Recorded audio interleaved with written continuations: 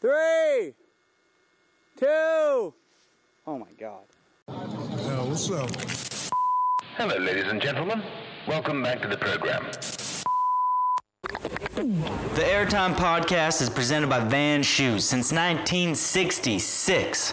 There's nothing fake about it. Have something to believe in and be yourself. You know what I'm saying? Shout out to Airtime, y'all podcast. Yes, sir. Welcome back to the show. We have one of my favorite snowboarders, somebody that I really look up to on and off the board.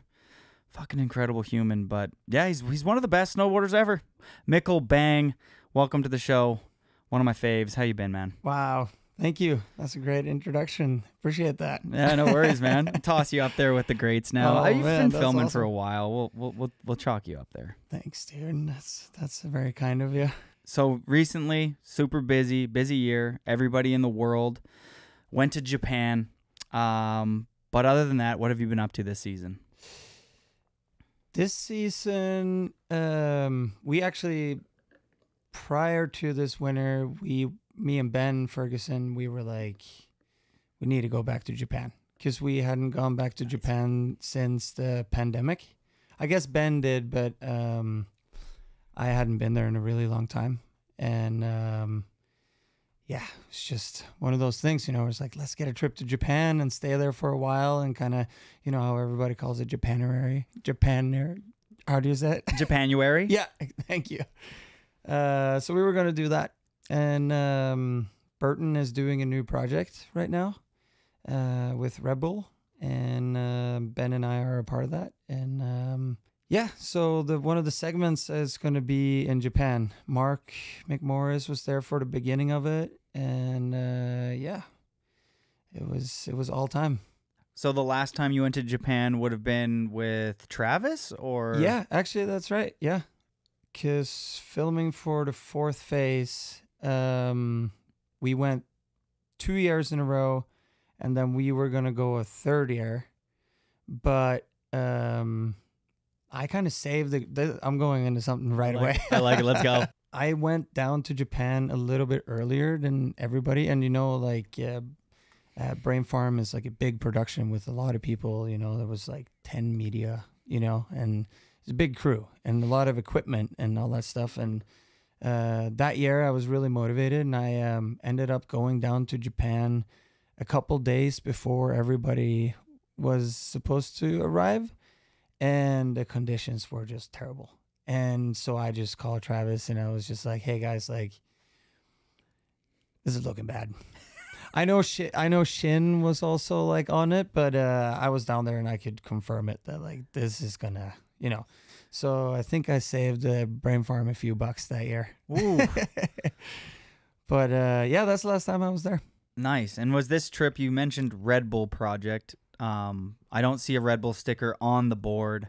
Yeah. How did you uh, sneak through the cracks? Well, well, uh, I think the fact that I don't have a drink sponsor um, Works in your favor. It works. It works in my favor because then you know I can kind of be a part of their projects because I'm not a, you know, I don't ride for any other competitive energy drinks. So How is that not like a thing right now? If I was like in a a big fucking building right now, I'd be like, we got to give that Mikkel Bang guy a, a sticker because like you're you're still on podiums. You know what I mean? You're still going out there and you're riding in contests, ending videos, opening videos, full parts. Still completely integrated in every single area. It's like I don't know how you don't have the sticker of somebody. Yeah. I would give you a sticker. I will Thank give you. you. a sticker. can I get a sticker? yeah, we'll give you. Yeah, we'll give you an airtime sticker. Oh, that's You had one on your board last year. I year. did. I That did. was crazy. I, I need to get a, a re- I need to stock up on some uh, new stickers. I got you. Yeah. No, the whole energy energy drink. You know, I used to I used to ride for I was on Rockstar for a little bit and then I was on Monster for a few few years and we parted ways and um and ever since that I haven't, you know, haven't been on one. So and uh I got to be honest, that was kind of like that was my bad when I got, you know, when we went our separate ways cuz Love the honesty. yeah, I know. I, I, I like to be honest about this stuff, you know, because maybe some people can learn from it, you know, because I um I definitely didn't wear the you know the hat, and I mean I wore I wore the I wore the uh, the Monster logo when I was snowboarding and I had the sticker on my board. But you know, when I was hanging out in town, and you know, I I think they noticed that I wasn't as into wearing the monster on my forehead as the other people, you know, and uh, that kind of bit me in the ass. So if I could go back in time, I w- would wear that monster hat on my right here. so, if, so if you're on monster or anything, just just take that thing on there because um, yeah, it's nice to have have along the way for sure. I think that they should just re-sign you. I think that would be an easy. Dude, I agree, man. Like, come on, guys. come on, like who else is going to? Who else is on Monster that's going to natural selection? Like what athletes do they Uh, have? Zoe, yeah, Zoe. I think Torgeir is he? on- Yeah, Torgeir is. Um, is Sage on it? Yes. So okay, they got a couple people, they but they but they they want to round out that podium. You know what I mean? Yeah, yeah, yeah. Right. They need they need some more people on there. And they don't have anybody Canadian that's going. So I mean, you're and not that you're Canadian, but you live here a lot of the Yeah, time. I'm like I'm like pretty much Canadian. yeah. I would, are you more Canadian or are you more American? Oh man, that's a that's a really good question. I think in the beginning of my career I was more American, and then now you know halfway through my career I've been more Canadian. We know you don't want to move away from Norway. It's one of the happiest places on earth. It's beautiful. Everybody there is beautiful. But let's say you can't move back to Norway. You got to move to the States or Canada. Who are you picking? I'm sorry, America. I'm picking Canada. I don't no, know. I don't know. I, I, I think if I was going to move to America, I would move to the Northwest. And then, you know, if I was moving to Canada, I would be in like BC. Yeah. You know, because it's just uh, the whole Northwest is just, uh, I love it. It's, uh, it's crazy. Like even just now, um, after being in Japan for uh, six weeks, actually, we kind of slipped That's away from one. that one. But That's a big one. uh, when I finally got I I got through the border. I was first in Bellingham because my wife's um parents live there, and then like just getting into um getting into the northwest, and then driving across the border, and then getting up to like Squamish, and then I just like I don't know. It's just like feeling that it's like it's like going home. It's it's crazy, you know. It's like. I get that same feeling at the end of the season when I'm going home to Norway, and I get that same feeling when I like come back to BC, like after you know not being here for a while. So I have um, yeah, I love love Canada. Do you love Canada or do you love just staying at Mikey Rencz's house? like, because that's probably the feeling of home. When you pull into Oh, Mikey's yeah, house and you're like, I'm Yeah, home. What yeah. up, Street King? exactly. I'm like living with the family now, you know, Chili and Street King. Uh, no, dude, Mikey has been so nice um, to let me stay at his place, and it, it is the best deal, you know. Like, I get to stay there. I have my own room, and you know, he has a sauna. It's right in Squamish. It's close to the city. It's close to Whistler. You know, it's kind of like the the perfect place to be. Food is good. The river. I don't know. It's just amazing place. I mean, Mikey's got great jokes. Oh man, yeah, yeah, he's great. Yeah, he really likes jokes, talk about stuff, you know. Oh man, yeah. No, Mikey, Mikey is seriously the best. It's also pretty cool because um, in the beginning when I came here, you know, it was his house was like full of, you know, it was always full, you know, with Ika or Benji or Niemelä, you know, and um, I was kind of always like doing like renting places or being in hotels and blah blah blah. And when those guys like started, or when they didn't come to Canada as much, or to Mikey's house as much, um, that kind of started opening a pocket. And then when Mikey was like, "Hey man, do you wanna? You can rent a room at my place if you know, uh, if you want." And I was just like, "Fuck yeah." I was like, "Are you I'm kidding in. me?" Oh yeah, I'm in, dude. Yeah, yeah, yeah. Mikey, um, Mikey has been a big part of my like Canadian snowboard career. You know, which is a big part of your career. Yeah. Any career. Like Oh, I- yeah. Ika, you brought up there, Benji, Eero Niemelä. Like, yeah, without Mikey's, um, the Squam, Squam de Nav or whatever is it? What does he call it? yeah, yeah. So uh, if, for the listeners that don't know, in uh, Whistler they have a spa called uh, the Scandinave. It's really nice, by the way. Uh, but Mikey, he's got his sauna in the backyard and a and a bathtub that we do cold plunges, and he calls it the Squamdinov. I mean, it, the Squamdinov is is a great place. It, it's the best. It's the best. We got the sauna hats now. Have you seen those? No, did you guys hats? make hats? No, no. Uh, go on eBay or wherever and check it out. Right type uh, sauna hats. There's these like really nice hats that like are supposed to like your head is not supposed to get as warm when you use them. It's funny scenario. So we sit in there and drink beer and with our funny little sauna hats and yeah, it's a good, it's a good, good setup.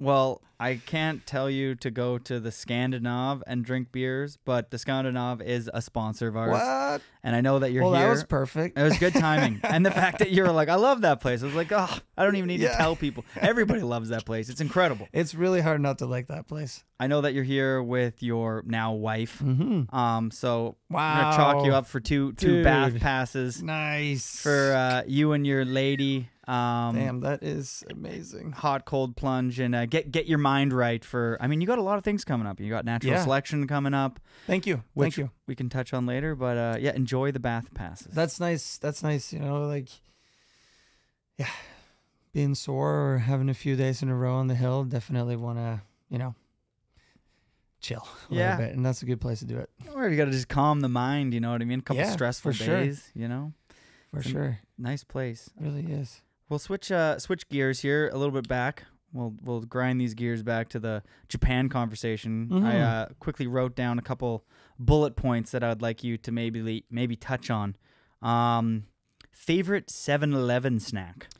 Ooh, oh man, it's gonna sound a little crazy. Um, have you seen? Okay, so in Japan they have these like, you know how they um they have like uh medium boiled eggs in like soy sauce bags. I at the end of the trip, I was like every day I would bring those things out there.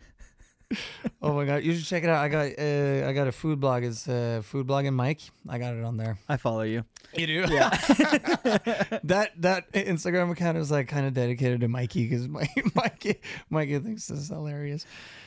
Um, The but yeah, Bulldoggy but yeah, I think I think the um, uh, medium boiled eggs in soy sauce. It's a little gnarly, but if if you don't, it looks gnarly, but it's it's awesome. But it hits the palate. It is the palate. It hits the palate.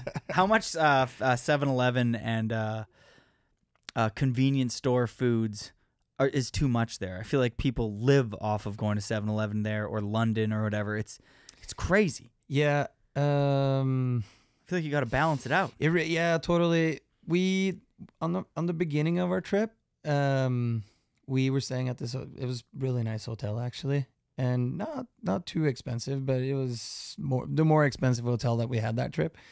And at breakfast, it, it was the most insane breakfast buffet they had. And oh, they at had- Asahidake? Yes. Yeah, Have you yeah. been to that place? We don't rem- went. we followed Oh, you guys. yeah. We went there Oh, after yeah, you guys. okay, okay. we we were like, oh, Burton was here. We're going. Oh. That's awesome. Uh, well, anyway, I don't remember the name of the place, but um, dude, you go to breakfast and there was steak and like sushi and like it was like dinner for breakfast, you know, which I I'm a, I love that. I can I can do dinner for breakfast any day. Uh, but we what we did uh those first five days in that hotel is that we we took the the coffee cups like the to go cups and we would fill them with beef and then we would just fill them with beef, put the cap on there, and like put it in a Ziploc bag, and then we call it meat cup. And then we were just like out in the backcountry and just like, getting like best steak out there. Yeah, so that that was the beginning of the trip, and and um, when we moved hotels, then we kind of started getting back over to because they not not every place had uh, good breakfast like that. So then we had to start. Then we were back on the 7-Eleven breakfast and and and lunch scenario that you There's something that you do when you get when you eat shitty food for a while. It's like you you go inside the 7-Eleven bathroom on day 5 and you look at yourself in the mirror with all your 7-Eleven groceries and you're just like I'm a piece of shit. like it, and your bag is full with just like nothing in there is Yeah. good for you. You're like and you read the ingredients, it's like a thousand different things on the back and you're like this is not Whole Foods. dude i um throughout the trip i mean i stayed there for like s- uh, six weeks i think we extended our trip four times Whoa, that's a lot of annoying phone calls to the airlines. Yeah, for sure. and yeah, it was yeah, and it also cost a little bit of money. But um, the reason why we ended up ex- extending was because like the first part of the trip was filming, and then we um, if uh, you you know the mystery series that Burton has.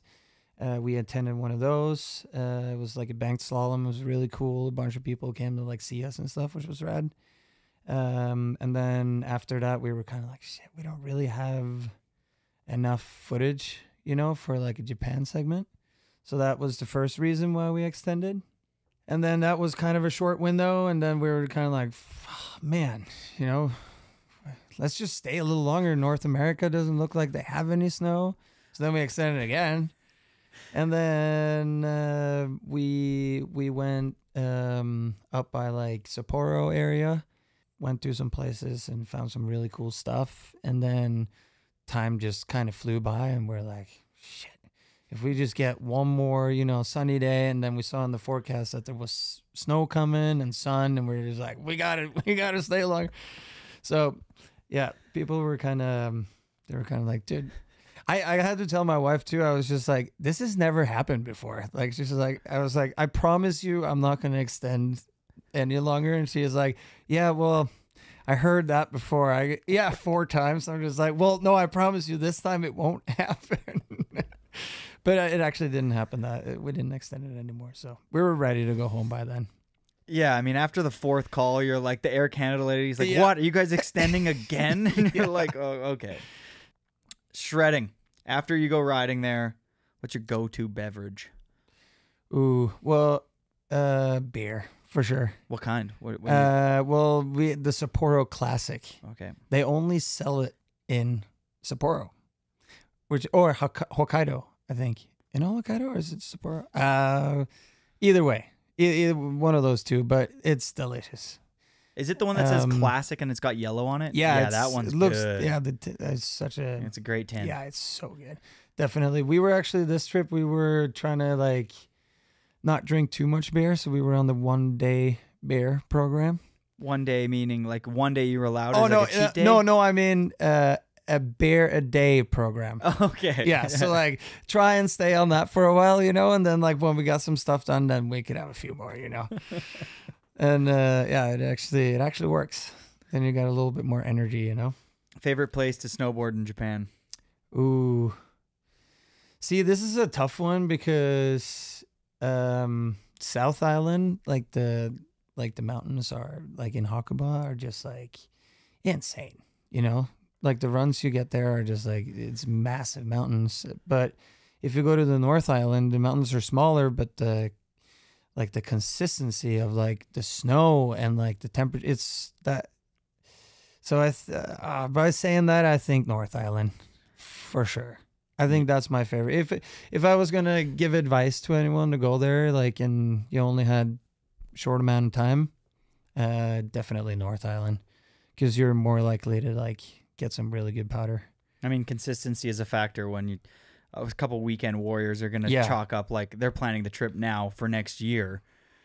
They want to know that they're going to get the goods, and the the best odds would be to go to the North Island. For but sure. if you go south and I- you that's the- that's the thing, that's the thing. crazy. Yeah, like that that year when um we went for the fourth phase, um or the, the two years we went in a row, we stayed there for a month, um, uh, both times, and the trick is to kind of go there early.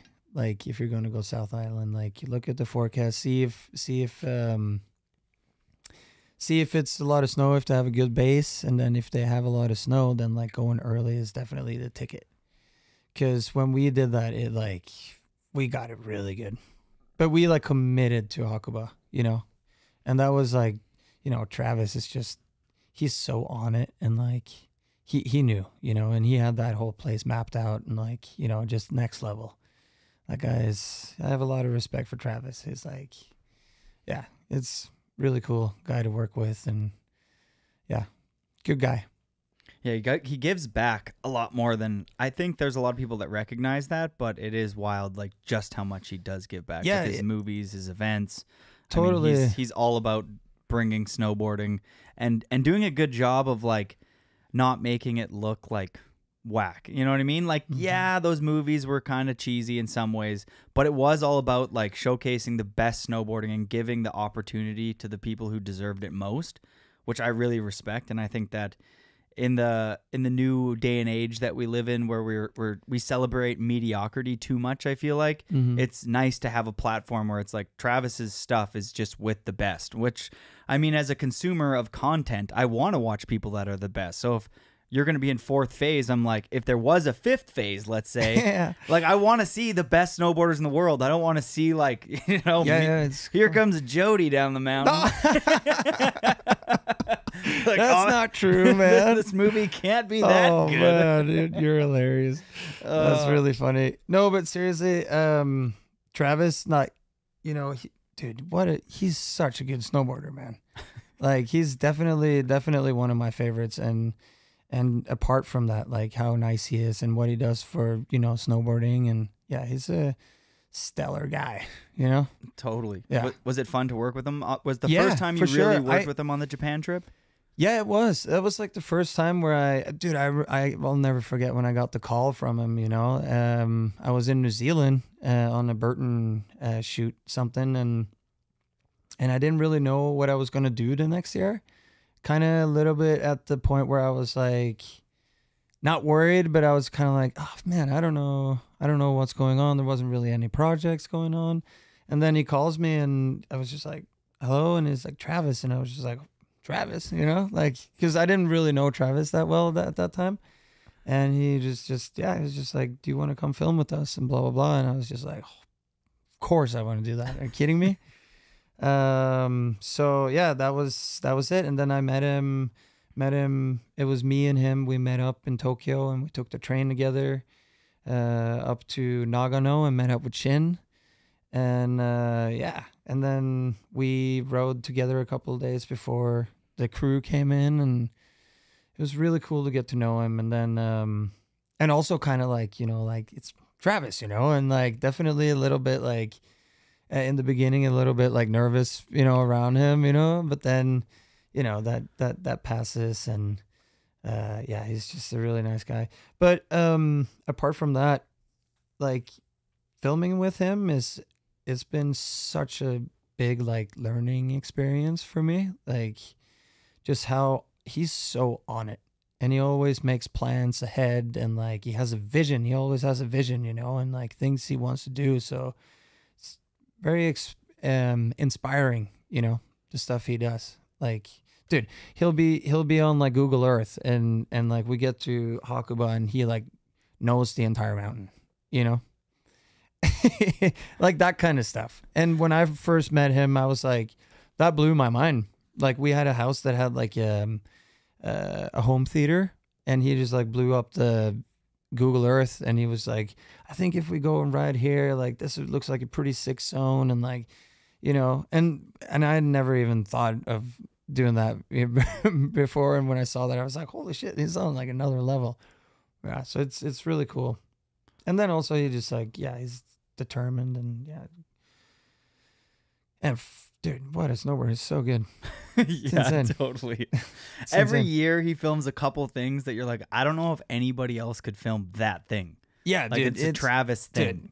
dude, like dark matter for example when like the lines that he wrote there and just like how yeah he's just he's a beast man it's really really inspiring and cool it's all the respect to that guy for sure I like when I'm riding down a face and I see one cliff band, yeah two trees, one's bigger than the other, and then one big boob at the bottom. I'm like, just all you gotta do is go over the cliff band and then toe side around the big tree, not the small tree, Yeah. and then do a heel side turn on the boob, and you're done. yeah Not too complicated. I can wrap my head around that.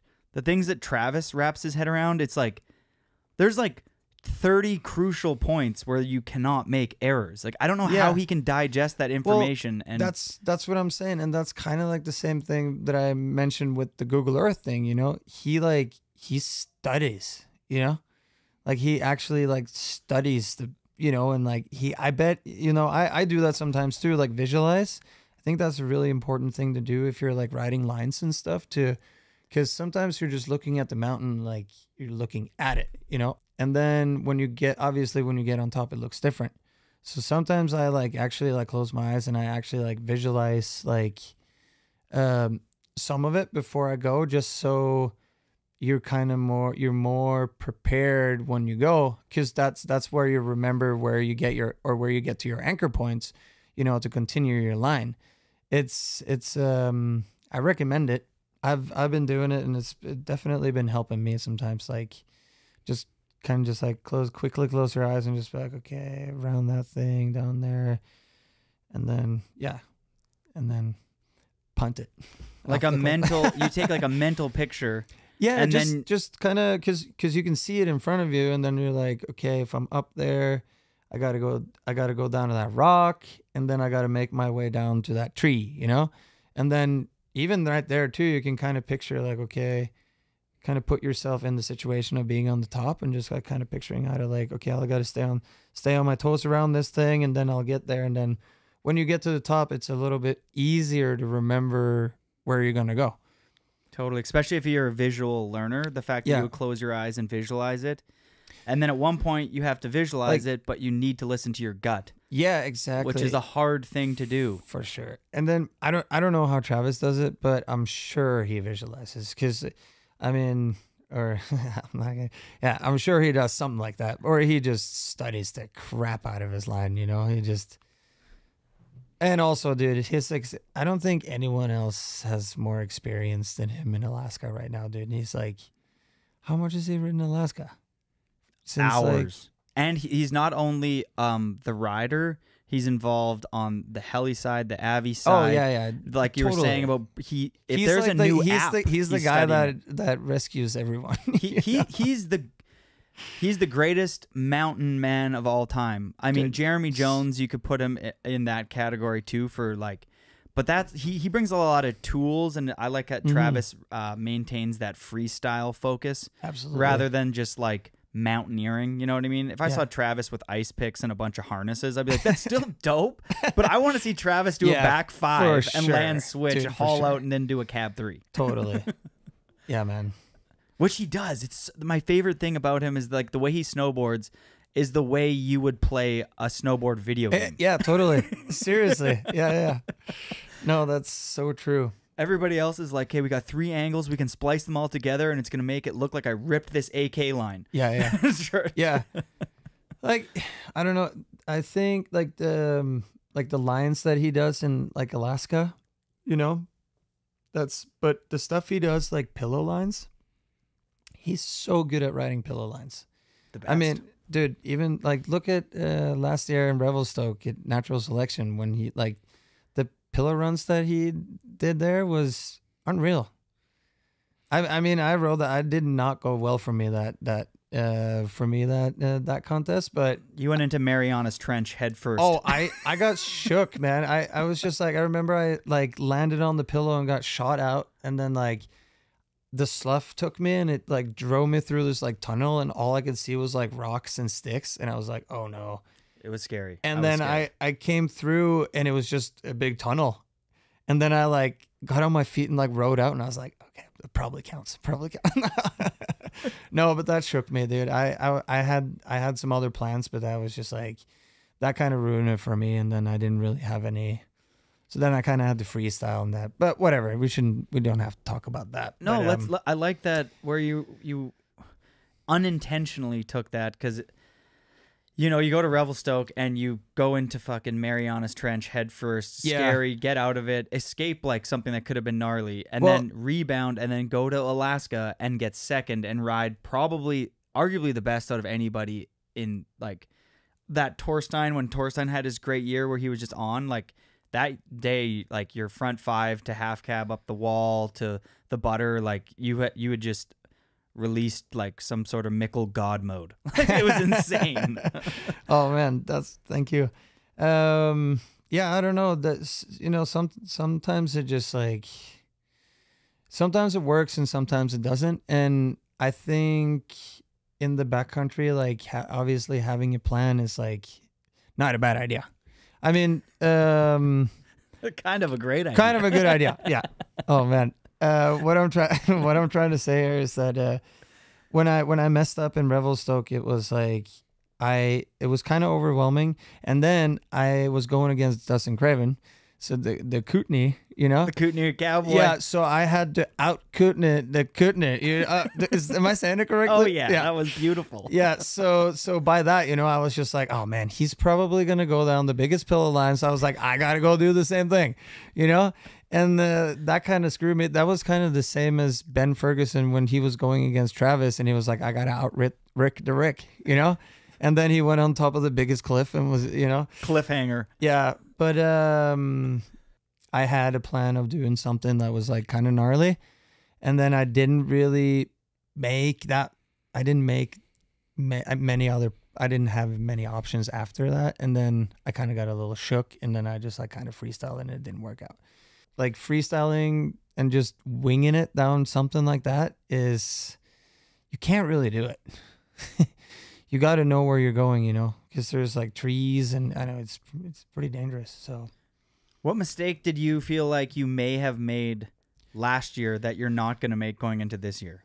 like all these events like the times when i've been doing good at natural selection is when i absolutely don't give a shit about what anyone else does.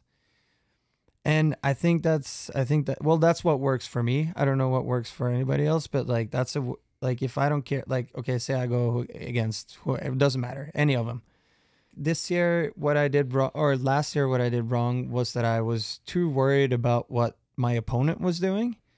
And usually when I've been doing well, I just been focusing on myself. And then in the end too, I feel like that's kind of what we're trying to do here, you know, we're trying to show snowboarding and if you're doing what like you like to do, then it'll most likely look a lot better than if you're like trying to like be better than someone or something, you know? You just gotta like go out there and be yourself and and do what works for you you know? And try and make it look good and have fun man. That's that's that's my approach. And you know if i don't advance then at least i have that going you know I think every rider that's invited to natural selection is invited due to a certain strength or set of skills that they have. And that's the reason why Travis and Pat Bridges and whoever else picks these riders to come. Mm. And it would be foolish to not lean into those strengths because that's the reason why you're invited. Like if you're a rowdy powderhouse pillow riding animal like Dustin, hmm. that's what people want. You know what I mean? Like Yeah, unleash sure. the beast. Like we want to see you do a crooked cop into a pillow field and thread the needle through some trees or Yeah, switch sure. back five into a rowdy pillow field. yeah But like someone like Blake Paul, like we want to see you go really s- smooth on your heel and do a dope crippler and like you know do a back seven melon like you're a little light bird. You know what I mean? Like that's what people. That's what we want. That's what everybody wants. That's why you're in, you're kind of invited. And I think it's crazy that people would try to match their riding with someone else's or whatever. I think like just hone in on like your strengths and lean into them. yeah because i I- exactly because i think that's that's when it goes wrong if you're like trying to do something that it's Oh, not, Travis, not you Travis. you know yeah or out Kootenay the Kootenay or Uh, Kootenay to Kootenay. yeah, out- out Kootenay to Kootenay. Yeah. Um. So yeah, I think that's my strategy, and then also another thing that's a good strategy is always to have a bunch of options. So, because right now, for example, I just got an email the other day where they sent us like a photo of the venue, and it's like, I mean, you can zoom in and whatever, but it's you don't really know until you get there and you're staring at it underneath it you know? So you can definitely get an idea of what what it is but once you get there that's when you can f- really start making a plan. And then um and then having a bunch of different options is a good idea. Because like if if on contest day like somebody takes your line you know? Somebody goes before you and they take your run and you're like shit now I got to go down the track that's some you know? So then if you have a bunch of options or or say like okay I have a few I have two options that are a little bit more gnarly and two options that are kind of medium. And then if your opponent does does something you know then maybe you don't have to go as gnarly. Or if you're you're losing and you need to step it up then maybe you can move over to like a little bit gnarlier you know? Uh, I think that's a good strategy Yeah, there's it's wild to see Travis bring this event together with an amazing group of people, but um it's such a different event than any other event in snowboarding because there's literally homework for the riders. And if you Oh, just yeah. want to like cut, leading up to the event, you're like I'm not going to study the, you Uh, know, the drone angles and I'm not going to study these maps and I'm not going to look at the weather forecast and stuff like that. Like you are going to screw yourself. Oh, Like, yeah, you yeah, need to yeah. s- know those lines Dude. And know those trees and be like, "Hey, the old growth that turns into a pitchfork, like that's my drop-in point." Like, Yeah, it, it, it's crazy. Last year, like multiple people were like, "Dude, it felt like I was back in school." like, totally. so seriously, everybody got like a you know a friggin' just sheet of of stuff that we needed to study before we go out. You know, yeah, like it's- I was never good wild. at school. That's why I Yeah, I started snowboarding. I know. I, I, I was exactly, exactly. All right, let's go uh, full circle here. We're gonna grind these gears right back to a halt because we uh, we're still on the a couple touch points I want to do with uh because just because I wrote these down, we're gonna do them. Okay. Um, back to Japan. yeah. Sure. Sure. okay, do you ride a wide board or a long board in Japan? Uh, so I ride the same board all year. Okay. I ride the same board all year. Um, mainly because it's the biggest board in the Burton line, and I prefer a bigger board. You know, uh, it's a 170 wide Burton Custom. It's my absolute favorite. I've been riding it for, yeah, since forever. Just that board is just good for everything. And um, I have another strategy about riding the same board too. Is that like, if you're very familiar with your one board, you know, then you're gonna ride it really well. Instead of like changing up your boards all the time, and you know, it might. I don't know. It, I, that's fun too, but for me, I I have so much fun on this thing that like, I don't really need to have another board. So yeah, that's my go-to. That's the one I got had in Japan. I would be disappointed if Burton wasn't making a Mikkel style board. Like you should have your name on a board. It's actually crazy that, that you don't. but like if they don't have a board that matches your exact riding style to every spec, it's like you're one of the best snowboarders in the world. People want to ride that board. So it's like, Dude. please design the Mikkel board because Yeah. everybody wants to snowboard like you. Yo. so like, let's get that tech. Actually, it's pretty, it's pretty funny. So if that were to happen, I would probably design a board similar to this. Okay, so you have the board. You I just need the name on the board. Yeah. Come on, Nigro. Yeah. Come on, Dodge. Yeah. Chalk them up. no, seriously. No, it, it is it is so nice. Like I like having a little bit of tail so I can go switch and I like the um, you know, cam- camber, camber boards and yeah. The reverse camber era, what a flop. Yeah, it was, it was I guess it was fun for a little bit. It's fun to p- see people at Super Park hit a, hit a, hit a hip on a, on a reverse camber out. board. like really, people are Oh. riding like the skate banana, like Yeah, riding yeah, hips. yeah. They're just like. The only problem I have with those boards is that when I went on like flats, the board just went like oh, like I back and forth. it. Yeah, yeah. It was, yeah, I don't know. I think I rode one for like It's nice to have like hold an I don't edge. even know, like a couple days, Mhm. and immediately like. I was like, I have to get off this thing. I went flat camber, I think, for two years, and I've been on. And then immediately, I was just like, "There's just more pop. Like the, it makes sense to have a camber profiled snowboard. Yeah. Like it can Yeah, go reverse in certain areas, like the no, the tip and tail can yeah, kind of sure. push up like more. it- yeah, for sure. Um, I agree with you. Um, are uh, avalanche fence clips in Japan played or or not? I mean, it's kind of classic, right? I mean, it, I, it's it's not. It's good. It's Nice. good. I like it. It's like coming to Whistler and riding a pillow line. yeah, exactly. it's like they're there. We're doing it. They're there. We're doing it. Yeah, I actually guilty. I did hit one. I had hit it hit it before too, but I hit it differently this time though. So You happy with the shot on it? yeah, What'd you do It's on pretty it? chill. Just uh, backside air, indie. Nice. Yeah, I'm sure. little. that- It was like a little tranny finder over a tree. oh, nice. Yeah. And you got the pocket. Yes. Nice. Good snipe. Sushi or Japanese barbecue? Ooh, that's a tough one. Your face even looks sad. oh man, I like them both so much. Uh, friggin' hey, man, dude. You know what? I'm gonna go. I'm gonna go barbecue, barbecue and bear. Why not? Nice. Favorite Japanese rider? Ooh, Kazu. Kazu and I kind of go way back, like um, Standard days. standard days, and like he used to come, like when Burton used to do like uh, photo shoots in Hemsedal in Norway. Um, Kazu would come there, and I think he, I think he's two years older than me. I think he was 16, I was 14, and I barely knew any English. I knew a little bit more than Kazu, but but he didn't know much English, and but because of snowboarding, you know, we we you know it was our that was our language, you know, and and um, we would talk to each other kind of like in like like s- sign language, kind of a little bit like hungry or you know or like you know shit like or sleepy you know or like stuff like that. So that i'll never forget that man. Um i've known him forever and i'm i'm bummed i didn't see him when i was in japan this time but i'll have to go visit another time hit him up see if he's available I mean, he's one of the greats, man. Like Kazu. it's insane like dude from his pipe riding and then into like oh and even just jump riding hips backcountry riding all of it Totally. all of it He is a Dude, savage. oh yeah Like and uh, such a cool dude too like yeah.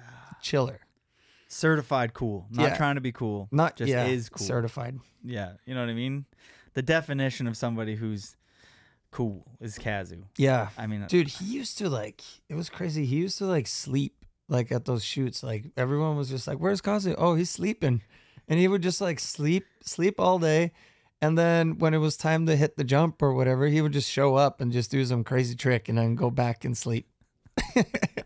We hit a hip with him a long time ago, probably like ten years ago, a Whistler hip shoot, and Kazu and Arthur Longo were there, oh sweet. And Kazu just sat the whole time we were warming up, and then basically was like communicated that with Scott Serfas, who was shooting photos at the time, like, is the light good? And then he just does a straight air, bigger than anybody, and then he did one air to fakie, backside 180 Japan, yeah bigger than anybody, hit it twice and just stopped and then sat there and just smoked spliffs and got like the best photo ever. And then it was like I was like, you are fucking Oh, so man. sick. Like it was Dude. massive. His jacket was just flapping, all man. yellow Adidas kit. Dude, he was with so- dreads. Oh yeah, yeah, dude, for sure. So styly, man. Um, one of my favorite Kazu clips on on a hip is the alley front seven that he did, and that was in Hemsedal too. I was I was with him on that session. Uh, that's a sick clip. What'd you do on it? I think I did. Um, I think I did a switchback one. Oh, If crazy! I'm not, if I'm not on a hip, yeah, kind of like onto the like 270 or just 90? It was it was it was like a spine, so you could go both ways. And for me, regular would be the front side hip, so I went like switch okay. Yeah, back one into the. I'm pretty sure that's what I did.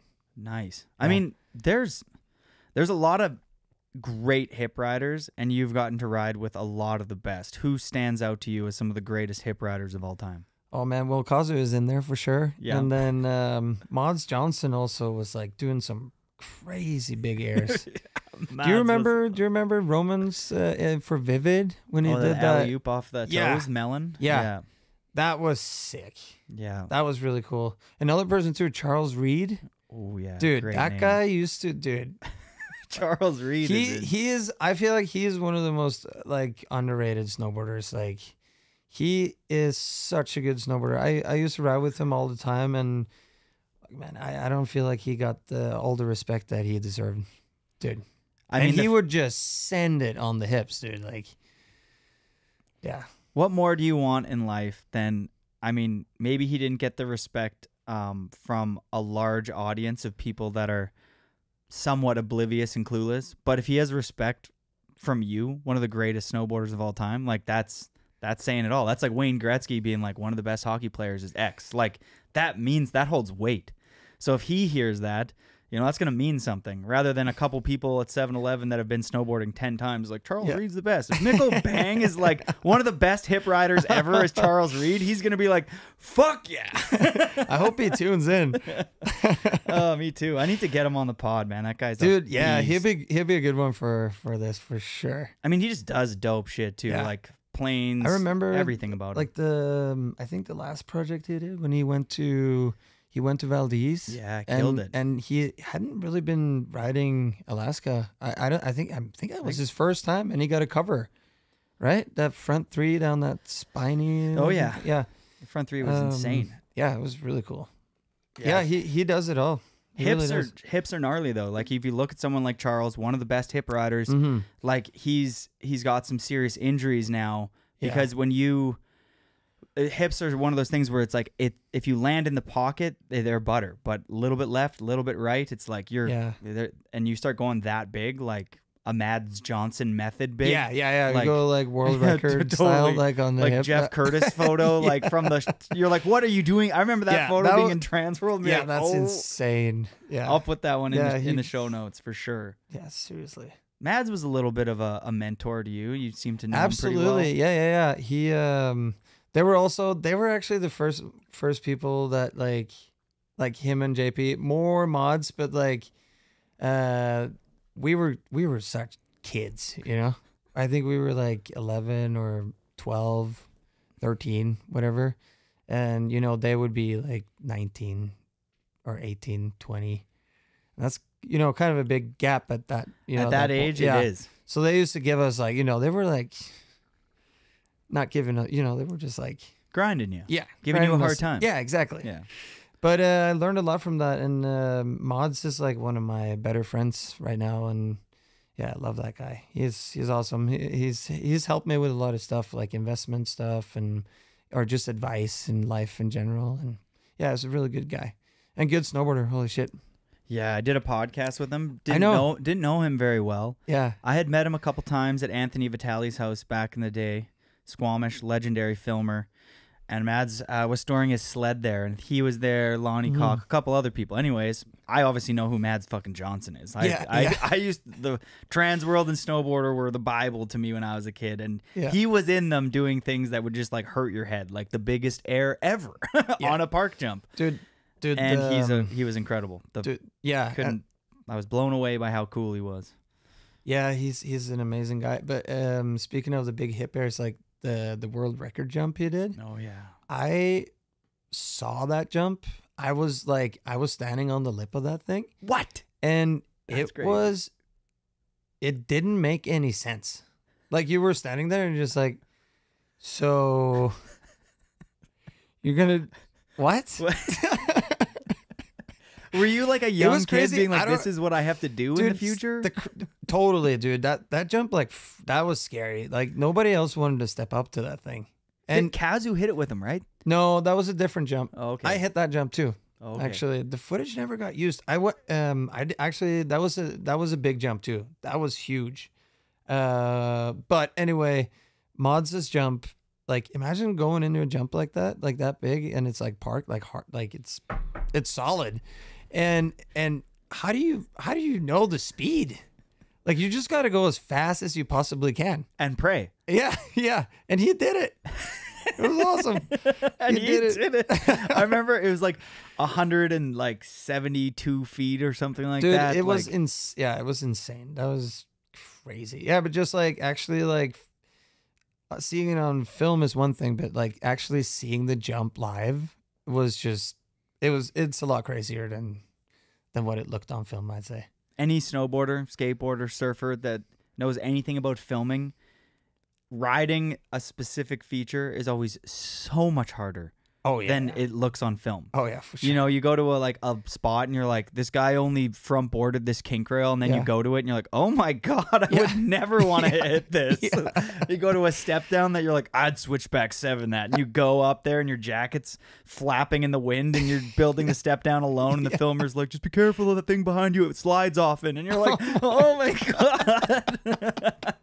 You're like, okay, I'm gonna stop just being an asshole while I watch these snowboard films. A lot of the, a lot goes into them. yeah that's hilarious Yeah, there was a there was a couple um good moments in there for sure. Like when I, I remember being a kid and putting you in the park mix, you know what I mean? Rightfully so. Yeah. And those Hemsedal sessions just being like, whoa. Mm-hmm. Like who else was riding at those sessions that were like notable figures at the time? Because I feel like every best European rider was there. Oh yeah, dude. Uh, and from the states too. Like that's where I met uh, Jeff Anderson, for example. Like I met him there. He hit this like, dude. He he was so nice too. Like all the other, like I said, all the other guys were kind of giving us a little bit like, uh, you know, kids. But Jeff was like really really nice to us. Um, I'll never forget that. But then like Kier Dillon was there. um, Mads, JP, Roman, Gigi, uh, Heikki Sorsa, uh, Fredi Kalbermatten, Jussi Oksanen. I, I mean, everyone on the Burton team was there pretty much, you know? Trevor Andrew. Um, yeah, That's a heavy line. Terje was there. I, I every I think everyone kind of like I probably am forgetting someone. If I do, I'm sorry, but there's a lot of people that that were there. The analog crew was there. Yeah, the analog crew was there for sure. The uninked crew was yeah, there. but that was a really cool time, and it the reason why it ended up in Hemsedal had a lot to do with uh, the Burton team manager at the time was Norwegian, and he had some hookups in Norway, and and this guy Lars Eriksson, my friend, also like sort of like my mentor. Uh, he built all those jumps, and he was like, he was really like those jumps are so good. Like Hemsedal has never had jumps that good since, you know. I mean, now they're starting to get it back. Uh, there's this guy Yuan doing it right now, and he's he's doing it good too. But uh, for a long time, they're like, yeah, he he passed, you know, and in an avalanche in Hemsedal. Uh, Yeah. so rest in peace, Lars. But uh, he, yeah, we all miss him. But dude, he uh, he um, he was a good dude and really good snowboarder and park builder, man. But like, you know, you lose someone like Lars, like at a younger age. Was that pretty devastating? did- Could you comprehend it at the time? Did it take you to later years to realize like how much of an impact he had on you? Yeah, dude, I I think that was the first time I ever lost someone that I like really cared about, you know? Oh, and that's a big um and it happened on like Christmas Eve. Yeah, so it was kind of like I was with my family and then we just got a call, you know, like oh there's been an avalanche and then and then Lars was in it and then we didn't hear anything, so it was kind of like a waiting game for a little bit like and then we got the call that he, you know, that he they couldn't find him. They couldn't even find him. Um because it was like late in the evening and you know but anyway um he, yeah dude he he's the guy who like took me under the wing and like introduced me to burton uh he's kind of like the guy who like you know he, he kind of did a big push for me you know to be sitting right here and talking to you right now in canada you know so so yeah I've- yeah really miss him and yeah he's, he's a good dude Shout outs to Lars. Yeah. What's his last name? erickson What did Lars teach you? What what like what characteristics did he have that you were like that's dope? Like if he's like a little bit of a mentor figure, what what drew you into him?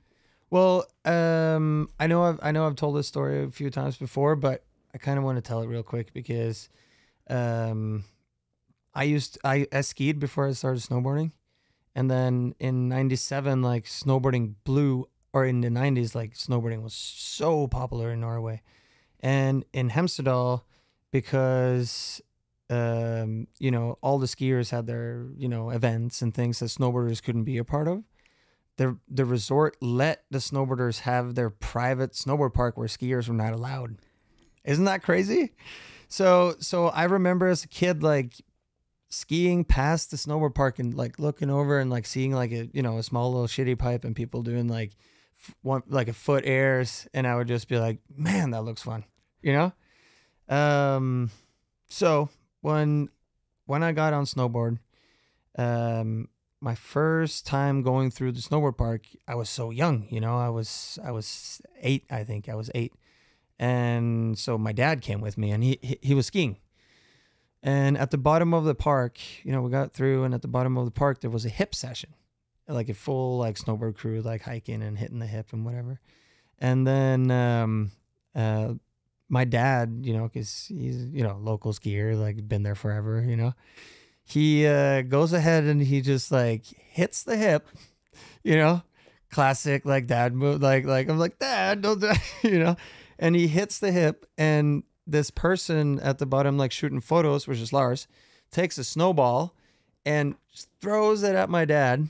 And and my dad and him like fully get up in each other's faces and like whoa," you know, and um, it it ended up like Lars becoming like my dad's friend and like like him helping me like taking me under the wing and like show him teaching me shit like taking me through the park, taking me snowboarding, and like teaching me how to like do backside spins, like showing me snowboard stuff, learn me how to push me into my first wave. Like he he meant a, a big like great deal to me, and like he was just a good human, and he loved surfing and he loved snowboarding. Like, yeah, he's a really good dude. Well, you're making him proud right now, that's for sure. I mean, where you've come, like he's probably just like, "That's my dog." I hope so, man. oh, for sure, my yeah, man. we all miss him, but yeah, I mean, those are good qualities. I mean, a lot Yeah. of those that you said. Just, I mean, I like that you the emphasis on just a good person. yeah, is he's- important and overlooked in these really days. good person, you know, and yeah, just he was one of those guys that wanted to like help help other people, you know, and like building building parks and like trying to build stuff for other people to enjoy, you know, and uh, yeah, good dude. You touched on it a little bit, but you touched on some early uh, analog riders. When you're a young kid and you get immersed in a group of some of the greatest, um, not only talent but style individuals, which analog was highly recognized for back then, how did that like group change your trajectory in snowboarding? Oh yeah, I mean, I, I as being like being a kid and like analog was the absolute cool, coolest thing. I I thought that was the coolest, you know, and Trevor and like that, you know, it was. I just remember like when when I like when they told me I would get on and I could start wearing analog stuff, I was the happiest kid in the world. I think, like seriously. I, I would even like I would I would get these like because analog used to make these like crazy jackets. Like there was this one puffy jacket that I had. It was leather but like kind of it had like it was like uh it wasn't full leather. It like was kind of hairy leather you know? And it had like metal analog right here and I was going snow camping one time and I was there was no way I was not going to wear that jacket. And my dad was just like dude you're not wearing that jacket. That's how much I love it. I just would not want to take it off. Um, yeah, but like, yeah, Jeff Anderson, uh, Trevor Andrew, um, yeah, th- those, especially those two. I mean, um, uh, JP Solberg, of course, which also is like one of my favorite riders. Uh, he was a huge influence on my snowboarding in the beginning of my career uh, especially because like I really like park jumps and um and rails obviously with like Jeff Anderson and um but um I mean, Jeff Jeff Anderson was a great plug, especially on the rails. I'll never forget his Nixon Jib Fest switch front board around the C rail. yeah Always stood out to me. But uh, JP Solberg, like one of like the innovators of like redefining style in those early 2000s and what it should look like. It was baggy pants, wide stance, oh yeah like boxy. Like he just looked like I feel like every kid back then wanted to look a little bit like JP Solberg unless you were clueless. And you can see in your snowboarding there there's there's some serious um the idols that you had throughout your career um shine in your snowboarding. Like I could pinpoint them all, but I'd rather you tell me who those might have been throughout the earlier stages of your career. yeah uh well first off in the beginning like JP Solberg was was definitely my my like favorite for sure What made him your favorite before you transitioned to a different rider? It was the way, like his obviously his style. You know, when the boxy like style, like tweaking, like minimal tweak, but like a steady tweak. You know, and just no flailing, no movement whatsoever. You know, just like like his switchback sevens and backside sevens were the, the best ones. I thought, like they were so cool. Oh, I wanted to tell before we keep talking about that. Um, Mads and JP when we when we just got on Burton, they helped us set up our stance and they made it wider and duck stance and then they told us to put our uh, pants over the high back. And they're like, this is what you do. yeah, that's what you do. So that was the style and we ran that for years. For sure. Um but yeah, and also like uh, back to back to JP uh also him being like um a Norwegian writer as well definitely had a big impact on it but mainly just his style and you know he just had like such attitude you know that i you know thought was really cool Yeah, he definitely had a vibe. vibe for sure. Um, and then later, I mean, I there's so many riders that I could you know name. There's so many riders that I look up to, uh, and I love to watch snowboard. But uh, um, like Nicolas Müller, like from when I started getting older, like Nicolas Müller was like my my number one favorite rider, um, because of how he uses the terrain on the mountain, and later in my career when I actually got to like go out with him and film with him, dude, that's when I realized how good that guy actually was. Or I mean, he still is. He's not yeah, he's not gone or anything, but but like I didn't realize how good he actually was until I got to ride with him. Like we would we would go to Alaska. Uh, that was a really mem- memorable trip. Actually, it was me, uh, uh, Ben Ferguson, and uh, Nicolas Müller with Absent Films and Haines. That was that was an incredible trip. Um, but we would look at we would look at the face and we would be like, oh yeah, like ride down there, jump off there, blah blah blah. We would ride down and then and then Müller would come after us and just jump off of something that like didn't exist. You know? Like he would just like jump off something over here, like massive, turn around, come back up the mountain and do like a hand plant on top of the peak and then like do some butters over some crevasses or something. I don't know. that was worded so good. Hand plant the fucking peak. So true, man. It's like No, it's insane. Wow. Yeah, he just yeah. I don't know. He's just so like he's so light and like skinny and just light on his feet too and you can just I don't know, just the way he reads the terrain has been a huge inspiration on on um on my snowboarding for sure. And that's I I I still to this day like will try and try and ride somewhat similar or or, or at least I'm not to I'm not to try and ride like him cuz that's that's not possible. I'm to ride like myself, but I'm definitely inspired by his way of approaching the mountain. I mean, like those earlier years, if you are inspired by Jeff Anderson and you know Terje and J.P. Solberg and Nicolas Terje- Müller, Terje and you for sure, Trevor Andrew. you try to look like those riders, you end up failing. But then at 22 or whatever, you're like you were influenced by them, so you have like their little bit of spice. Yeah. And those early influences that a rider has gets branded on you. Like if you were if your favorite snowboarder ever was I don't know, Travis Parker. Yeah, yeah. Later in life, it's like that shines, as you can Mhm. tell. If your favorite snowboarder ever was Keegan Valaika or Lucas Magoon or Chris Bradshaw, it's like you go ride the park with some young Japanese rider, and you're like, you loved Chris Bradshaw. Like, you know what I mean? Like you, sure. you know that. You can Yeah. see it in their riding. They no longer, they can't look like that individual. They look like themselves, but like their influence plays a big role. So it's important to look up to these, you know, Mads, and you have like that whole crew, and Mhm. like Hemsedal, all Norway, like that is where it, things are popping back then. So to have that mentorship and to have those people as your biggest inspirations Mhm. is just shows how I mean, you being one of the greats now, it's like you look at that and that helps you have a healthy career to some degree. Yeah, for sure. I don't know. Yeah, no, no, that's that's very well said. Um, yeah, and also like we talked about, um, like when you get to the point where you're not like trying to like look like somebody else, but uh, I mean, like obviously inspired, but just doing it your own way, kind of, you know.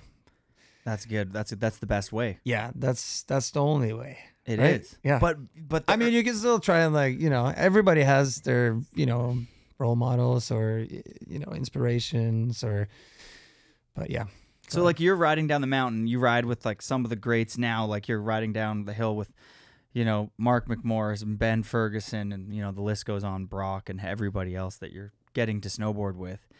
Every once in a while, this is how I feel. Maybe you do, maybe you don't, and you can speak on that. But if Ben does a really cool frontside seven, the next time I go snowboarding, sometimes I'm like, I kind of want to fucking tweak like that little, you know, that Ben did the other day. Yeah. Like I saw your switchback five today, and I saw how you came into the landing like that access. And Yeah. I was literally like, the next switchback five, I want to land just like that. Like, Okay, you know what I yeah, So I sure. mean, like, you're still we- inspired by you know people, but you can't you can't bite their shit because it doesn't work. But I'm like, I still feel like for for visualizing the trick, like we were talking about earlier, it's like if a good snowboarder that you look up to, if you watch their shit enough, you can visualize the way they're doing it and then you do it and so it's not them doing it it's you doing it but it's like with their flavor you know Yeah, for mean? sure, it's a little bit of a Yeah. bite but No. it's like it show it's almost like to me it's like a pat on the back you know what i yeah, mean if someone I think it's pretty cool to be honest with you. Like, I get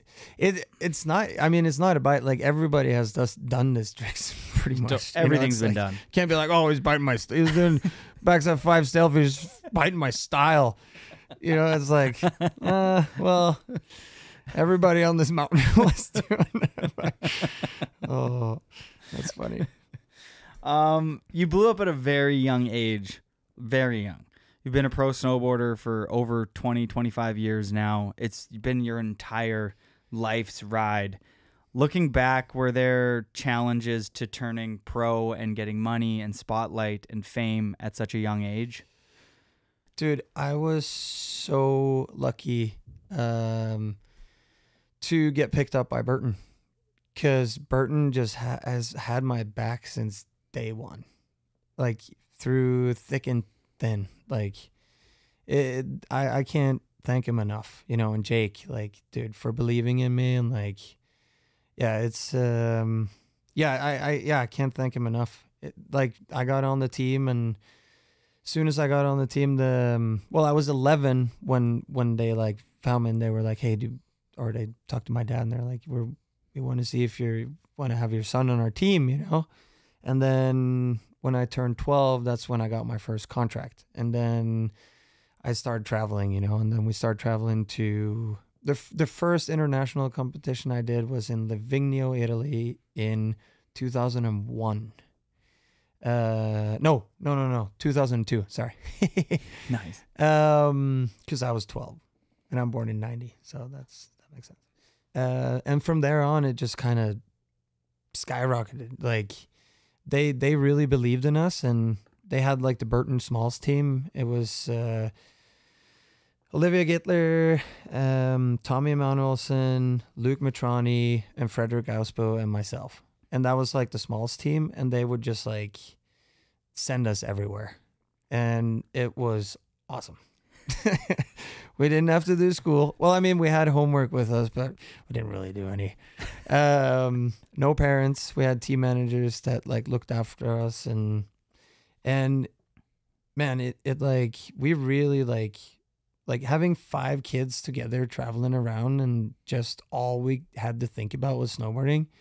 I swear that made us so much better at what we were doing For sure. 100%. you know like and and burton gave us that opportunity you know and they believed in us and uh yeah included us and yeah it's just yeah it's awesome so i've been I, yeah i've been very fortunate i mean i uh, you know i've been working i've been i've been working too you know i mean i'm working my ass off and but it also was my dream you know uh like growing up i remember i remember being a kid I don't know if I've ever said this to, but uh, I remember being a kid, like very beginning when I started snowboarding, and I would be in bed and before bed, and I, no, before going to sleep, and I would just be like, "Fuck, I want to be the, I want to be the best snowboarder, you know, I want to be the best snowboarder in the world," you know, like saying shit like that to myself, um, and um, and then, yeah, dude, getting on first though, just to put that in there as well, uh, when I first got on the Burton team, it was just like it was like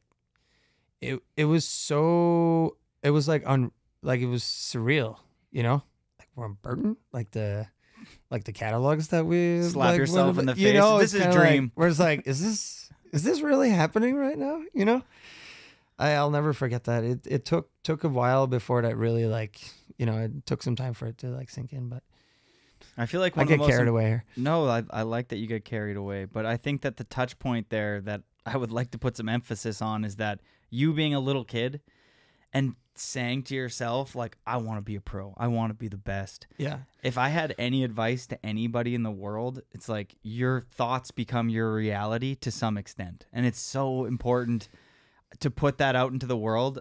As somebody who I feel like I'm a little bit negative towards myself, I think that I honestly manifested exactly where I got in snowboarding. I always said that I would be good. Yeah. I'm like, I want to be like kind of good and, you know, kind of like fuck around and have like decent style and like, but I don't want to be like the, I, I couldn't be the best, you know what I mean? And it's like, that's where I ended up because that's literally where I like what I put it out into the world day in Well, and day out. like- yeah, yeah, yeah. Where like, if you genuinely tell yourself and you put the work in, you know, you can, Yeah. you can achieve greatness. Like you really can. Even like, and I feel like the 30 to 40 year olds, I feel like a lot of them are like, oh, I've, I've grown past the point of return and now I can't do awesome things. It's like, don't tell yourself that because that's exactly, that screws yeah, yourself. It, it is true. At It- 50, at 60. Like, if you really start telling yourself something, I really think that that becomes your reality. You tell yourself that you're sick every day, you're going to get sick. For it's sure. like, It's like you wake up in the morning and you're like, I'm gonna work out today, you know, or like Totally. today I'm I'm gonna try and eat healthy, you know, anything. Today I'm not gonna try and drink a six pack of beer. But if you identify as somebody who drinks beer because you like that persona and that image, and it goes along with who you are, you will continue to do that. Because Yeah. you're like, that's who I am. For sure. But if you start identifying at a young age or at a whatever age, I'm going to be one of the greatest snowboarders, you start telling yourself that every day, you become that. Yeah. If you think that you're a fucked up drug addict and you believe that uh, story, you will continue to be a fucked up drug addict. For sure, you need to like look past the Totally. negative stuff and look into like dig dig a little deeper into your dreams. You mm-hmm. know. I've always loved the. Somebody once told me that like you're the main character in the movie. Yeah, dude, I like that. It's the best I one like that, ever. So yeah. if you were watching the Truman movie, Show. Yeah, like if you were, that's a great movie. If you were if you're watching the movie, would you be like Mikkel? You are killing it. You know what I mean? You're being nice to people. Lars would Yeah. be proud of you. You're ripping. You're snowboarding. You're making people laugh. You're making people smile. Life's good. Yeah. You know what I mean? Or are you watching the Mikkel movie and you're being like, dude, this guy's got to make some changes, you know? For and sure. if you know that, then like that's your that's your calling. That's like I'm sure there's people that are listening to us banter about this right now that are like, Dude- how is my movie if I'm the main character? And Dude, it's a great way to help you navigate the seas of life. For sure. And if you're not happy with the movie, well, then that's a great start. That's and and the movie is never fucking. It- I know over. it's not over. Dude. It's just the beginning. And every movie needs a low point. You know what I mean? Yeah. If you're at the high point right now, a low point's coming. Yeah. You know, no good movie is just one big high action packed movie. There needs to be a Yeah. low point where it slows down, where there's a bit more storyline, and the guy's boring and he's having a sip of coffee, and you're like, this is the least, my least favorite part in the movie. Yeah, yeah, But then what happens? You know, a bunch of crazy shit happens. You know what I mean? A bunch of crazy I shit. like that, dude. That's really cool. I wow, really we like just well, we just took a U turn We right did. there off a cliff. All right, back to Oh, uh, yo, uh, speaking of, can I have a beer? All right. Yeah, we got a little carried away. That's okay, though. But I That's- do that's like a part of it. I like that one. Yeah, I do. I same. I that's cheers, dude. Cheers, man. Uh, thank you to Gibbons Apres Lager for these delicious beers. And our These next question that we have for you is: How many video parts have you filmed? Mm. Wow, I don't know. You I never need to. counted? I can't. I never counted. I don't know why I never did that. Um, Do you think over twenty? Do you think you have more video parts than Devun Walsh? Ooh, how many does he have? Dude, like You know? forties. I've pretty much done. I've pretty much been in a, a movie project every year except the years I was injured. Since two thousand one, since uh, White Balance. Yeah, and before that too, I was like in. Well, those were smaller projects, you know. Um, the White Balance one was like the first, like biggest, like the big That's one. oh, you're in Yeah. standard. yeah, that's a huge Yeah, part. that was crazy. Um, Twenty four years then. Missed one part. Twenty three. And those are yeah, and I was injured one year. Broke my humerus skateboarding. that's a special was not- category. Not, so humorous. over tw- yeah totally over t- over 20 video parts is a special group I think so. I, I would have to like. Uh, that's actually I can't. Yeah, I should. I don't know. that's that you should tally that up yeah, because i mean I'm like there's try and figure that out. there's people i think Devun Gigi. These are off the top of my head. Yourself. Kazu, Pat Moore. There's a Blauvelt. Like all from Mikey too. yeah, Rencz. Renzi. Yeah, Mikey. Travis. Oh, and then yeah, Travis. Dude. Travis might be. No, that might be the. I think it because Devun stopped filming. Like I think 2017 was his last part, Yeah. but he had stuff since like, like his white balance part would have been like 1992 and like before like I think he made a movie with a mouse Yeah. called Milk, but then there was Child Games and a couple, and I think those were like 93, 94. Yeah. So that's 20. Yeah, there's a lot of there's there's a group of like 10 or 15 riders that probably have 20 video parts in A plus um respected movies like a, a Mack Dawg motion picture or yeah, like like standard. legit stuff. Yeah, like legit. So hey, well, cheers, man. Uh, Cheers. Uh, Uh, to to that milestone in in your life. Yeah. Way to Cheers, go. dude.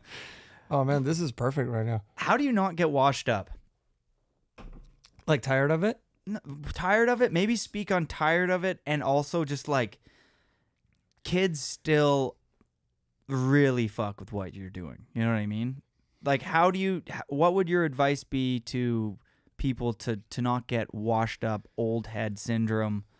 What do you think the recipe for success in that? Uh, well, no, no. I, I, I think. Well, what I've been, what, I've been trying to do, uh, my whole career is always to like evolve, and I'm not just saying like trying to do bigger tricks or uh, like that stuff, but like just kind of change up your writing a little bit and and dip in a new, um, you know, like Avenues. avenues thank you. Um like for example i i used to i i I would I would like hit street rails when i was a kid you know? I i was doing that and i pipe uh slope style and then more and more slowly getting into backcountry as like my favorite you know and obviously everybody powder is kind of like the the dream for all of us i do believe. Um for me my career was always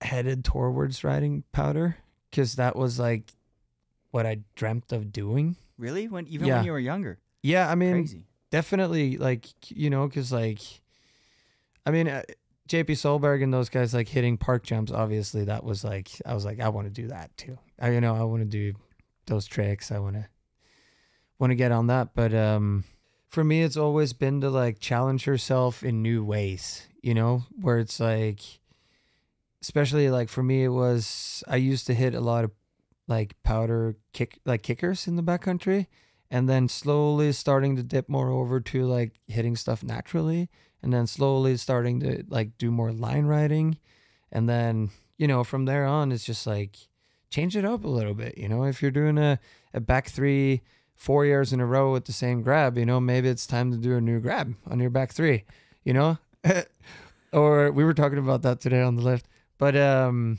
or like ride more switch you know um I think I think just like challenging yourself too and trying new things and going new places and it's one way to like keep going without like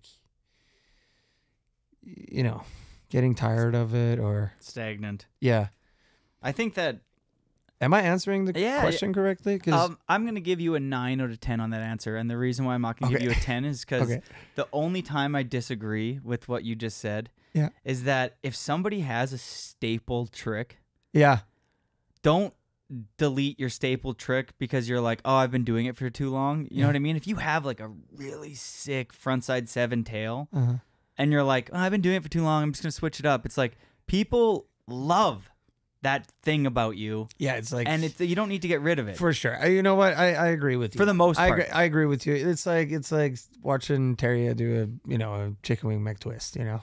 I feel like the one of the best examples, and it's not from snowboarding, which is you know maybe not the greatest example, but it's the one that comes to he- my head.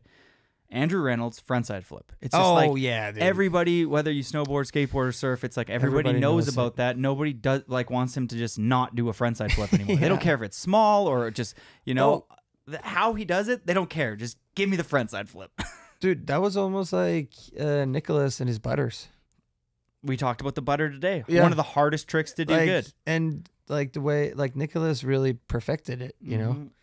I remember when when he got on um, GNU. I think he he told me it was kind of like joking, but I, I think he said like, "Oh yeah, they just want me to do methods and butters." You know, just keep doing that, and then you're good. you know, because like his methods and butters were, I mean, timeless. It's hard to perfect those simple things and make them timeless. Yeah, it is. It's like sure. we were trying to shoot turns today as like kind of a joke Yeah, with Rob, and it was like I like none of the photos were turning out, and I was like, and Rob was getting kind of flustered. I was like, dude. Shooting a good turn is very hard. Especially especially photo? in the park when there's like a thousand tracks around it. That's besides the point. I was not gonna leave. I wasn't. I was gonna leave that out of here. But uh, yeah, totally. yeah, it is get- hard to like uh, perfect those micro things, like you know, Yeah. like you were saying, a butter. Mm-hmm. A lot of people overlook the butter. They're more interested in doing something like a cab nine, and they land that. And then what do they do after the cab nine? They land in the backcountry. They do a stupid lame butter, and they ruin the shot. It's the panic butter. Oh, La- land something. Oh, what do I do? Butter. best best trick you've ever done on a step down. Completely stomp it. Immediately go into the worst butter ever. Completely ruin the shot. totally. Everyone's like, you just dunked your head in the snow. Like, We had uh there was one year where um it was me and Ben uh and we kept doing these like crails. It was like we called it a panic crail. And I don't remember. I think I think it was Justin Eels that was just like, guys, you guys gotta stop doing those crails.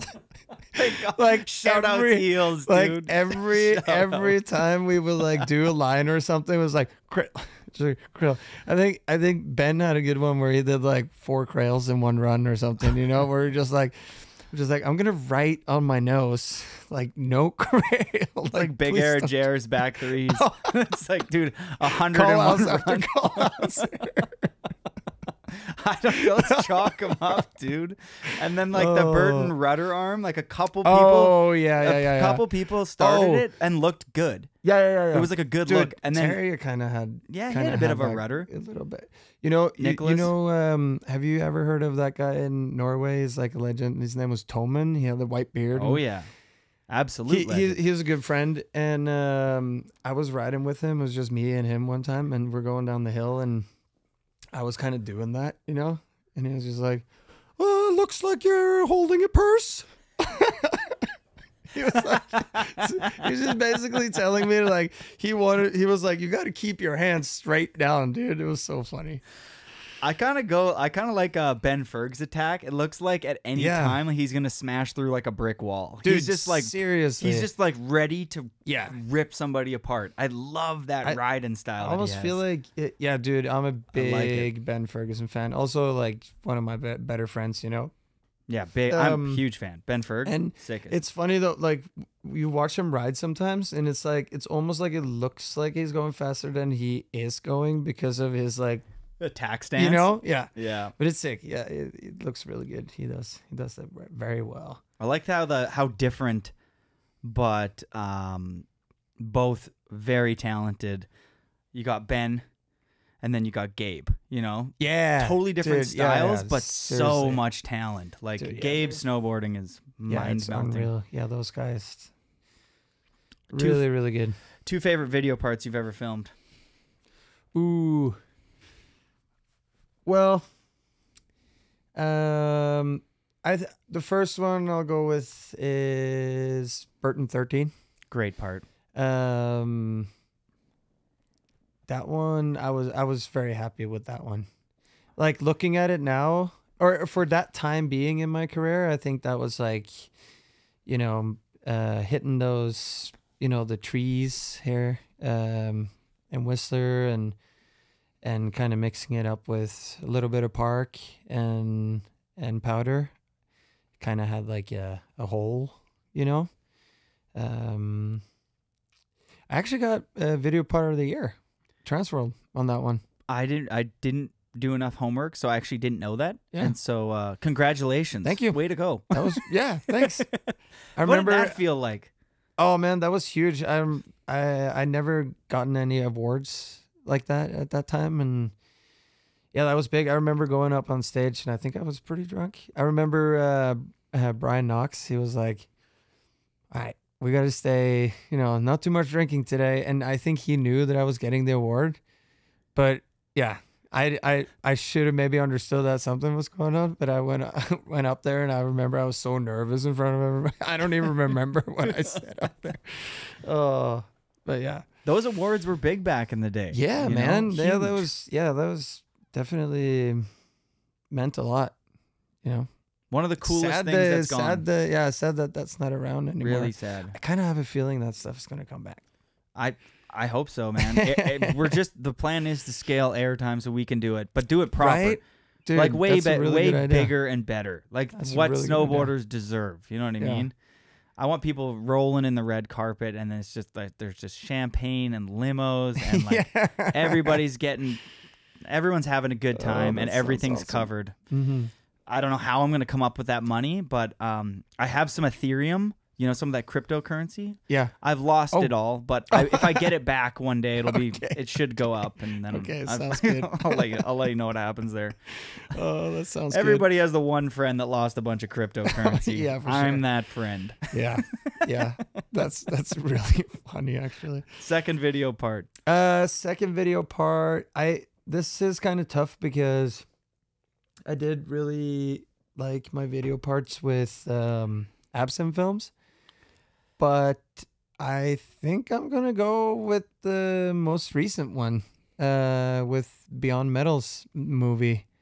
Um, the reason is because that's kind of where I feel like like that type of writing is more where I am in my life right now. And also I got to choose my own song. Nice. That's I. That is one of the best feelings ever. Yeah, it was really nice editing with Kevin and those guys there. They're they're good.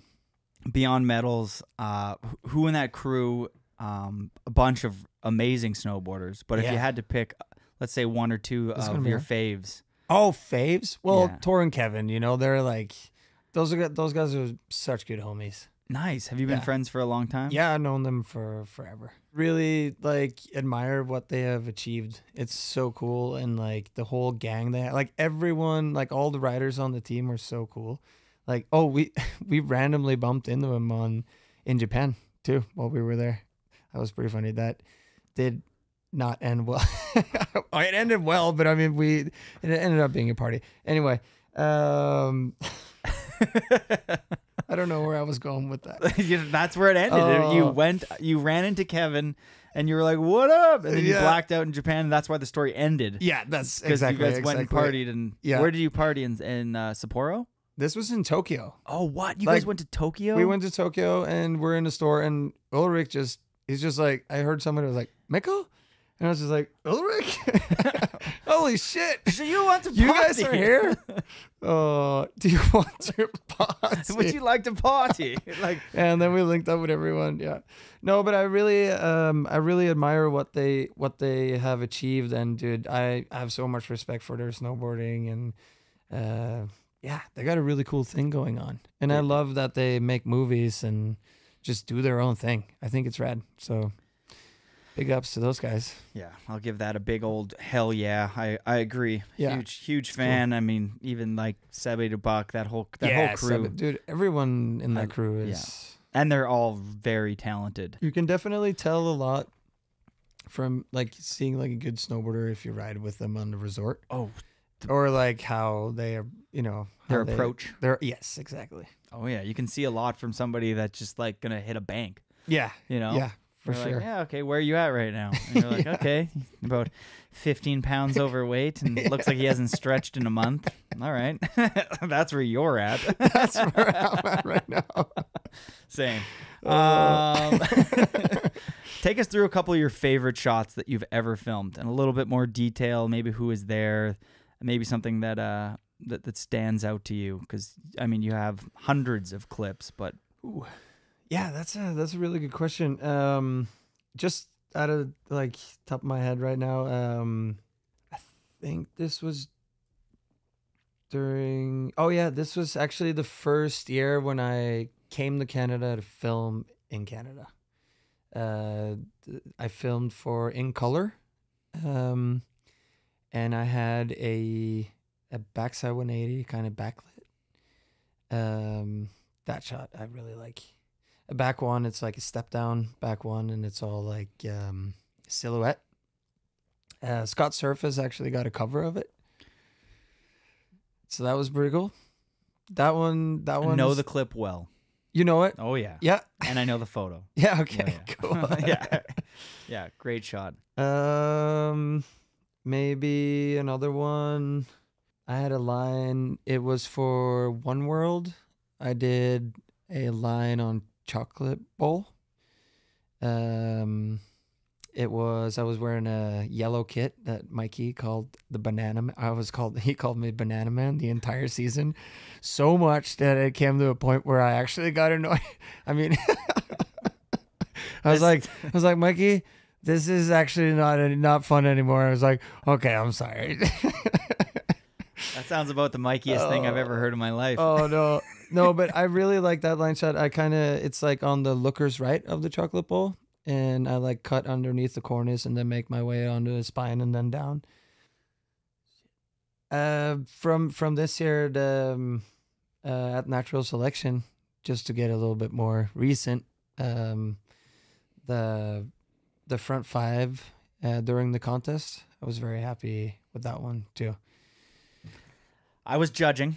Yeah. In case people don't know, I don't know how I got that job, but I landed on this job of of judging my favorite snowboarders. Yeah. Maybe because I have a sl- I have a little bit of a skill set out there, so I actually know how difficult some of the maneuvers are. Yeah. And that front five fucking indie to that half cab was Yeah. one of the greatest things I've ever wit. Like all of the camera angles don't add up to like the angle I saw it from. I it was think- like yeah, so like they're great. Yeah, I think if you had um Damn, Mikkel, that was sick. if you had the Barbie angle, I That's think you where I would kinda have was- you would have seen a little bit better the half cab too, because the half cab was more of a drop off. The drone kind of made it seem like it. compressed. Yeah, it didn't. It didn't Oh, yeah. really look as crazy from the drone. Our angle was insane. But then here's the crazy thing about angles. Life is Yeah. when you're filming snowboarding, it's all about angles. Yeah. You know, that's why they pay uh, people like Gabe and Leyland and Rusty the big Yeah, bucks. exactly. so that so they can find the angle to make the feature look the best. When you're judging and you're on a Barbie angle,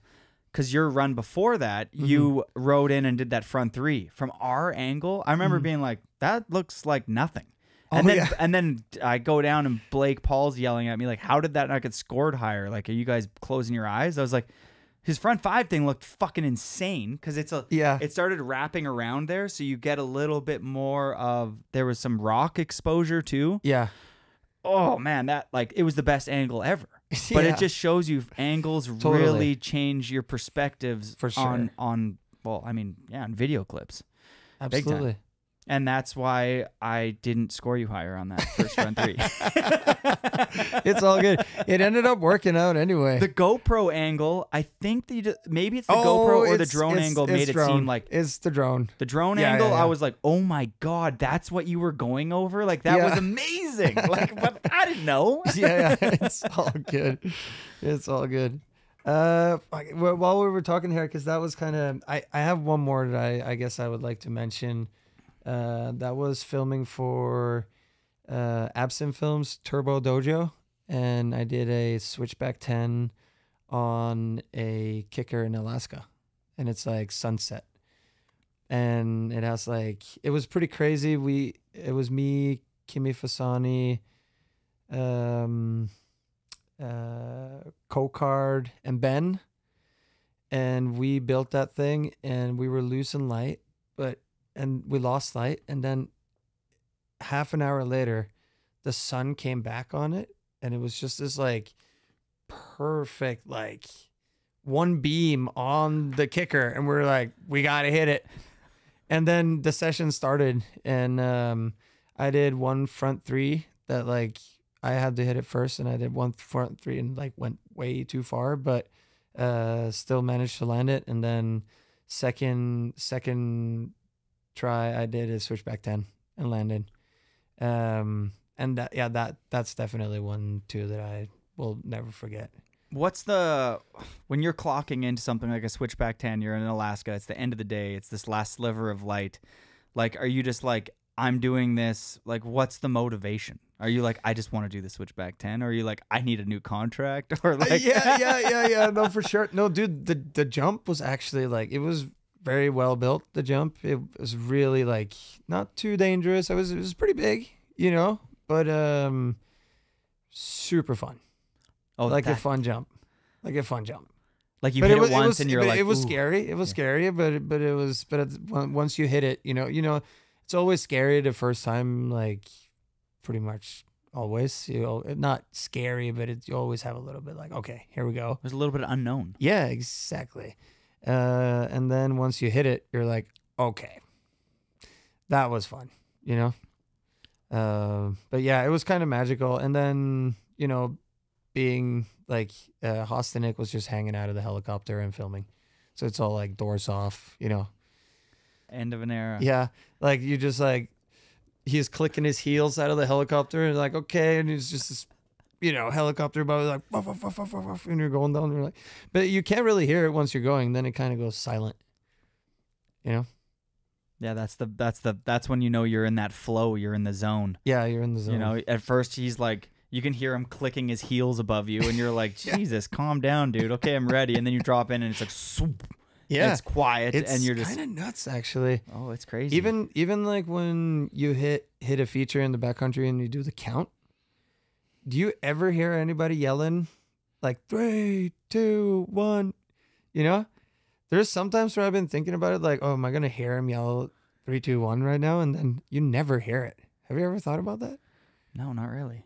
Yeah, maybe we'll hear it now because now we're thinking about it. You mean like I don't hear them on the radio? I mean, it's, no, I mean if you're hitting the jump oh, and somebody's like by the jump. Oh, I never hear that part. Exactly. No, That's, that's what I'm blacked saying. out. Yeah, you you go in that like zone and then it's kind of crazy. depending on the feature too. Like the gnarlier it gets, the more that probably Oh, yeah. becomes quiet. Yeah, because you're so focused on your objective. Yeah. On that note, we got a Patreon question from Garrett Baker. Uh, thanks to everybody who supports us on the Patreon. It means the world. You guys are the best. Um, what's the gnarliest thing you've ever done on a snowboard? Ooh. I I one thing that was kind of gnarly actually that I did once was um it was at X Games. It was Big Air and that was the year when when like uh they built a jump for Torstein to do the triple. And I remember I showed up there and I was already like kind of like over the whole like um flipping stuff.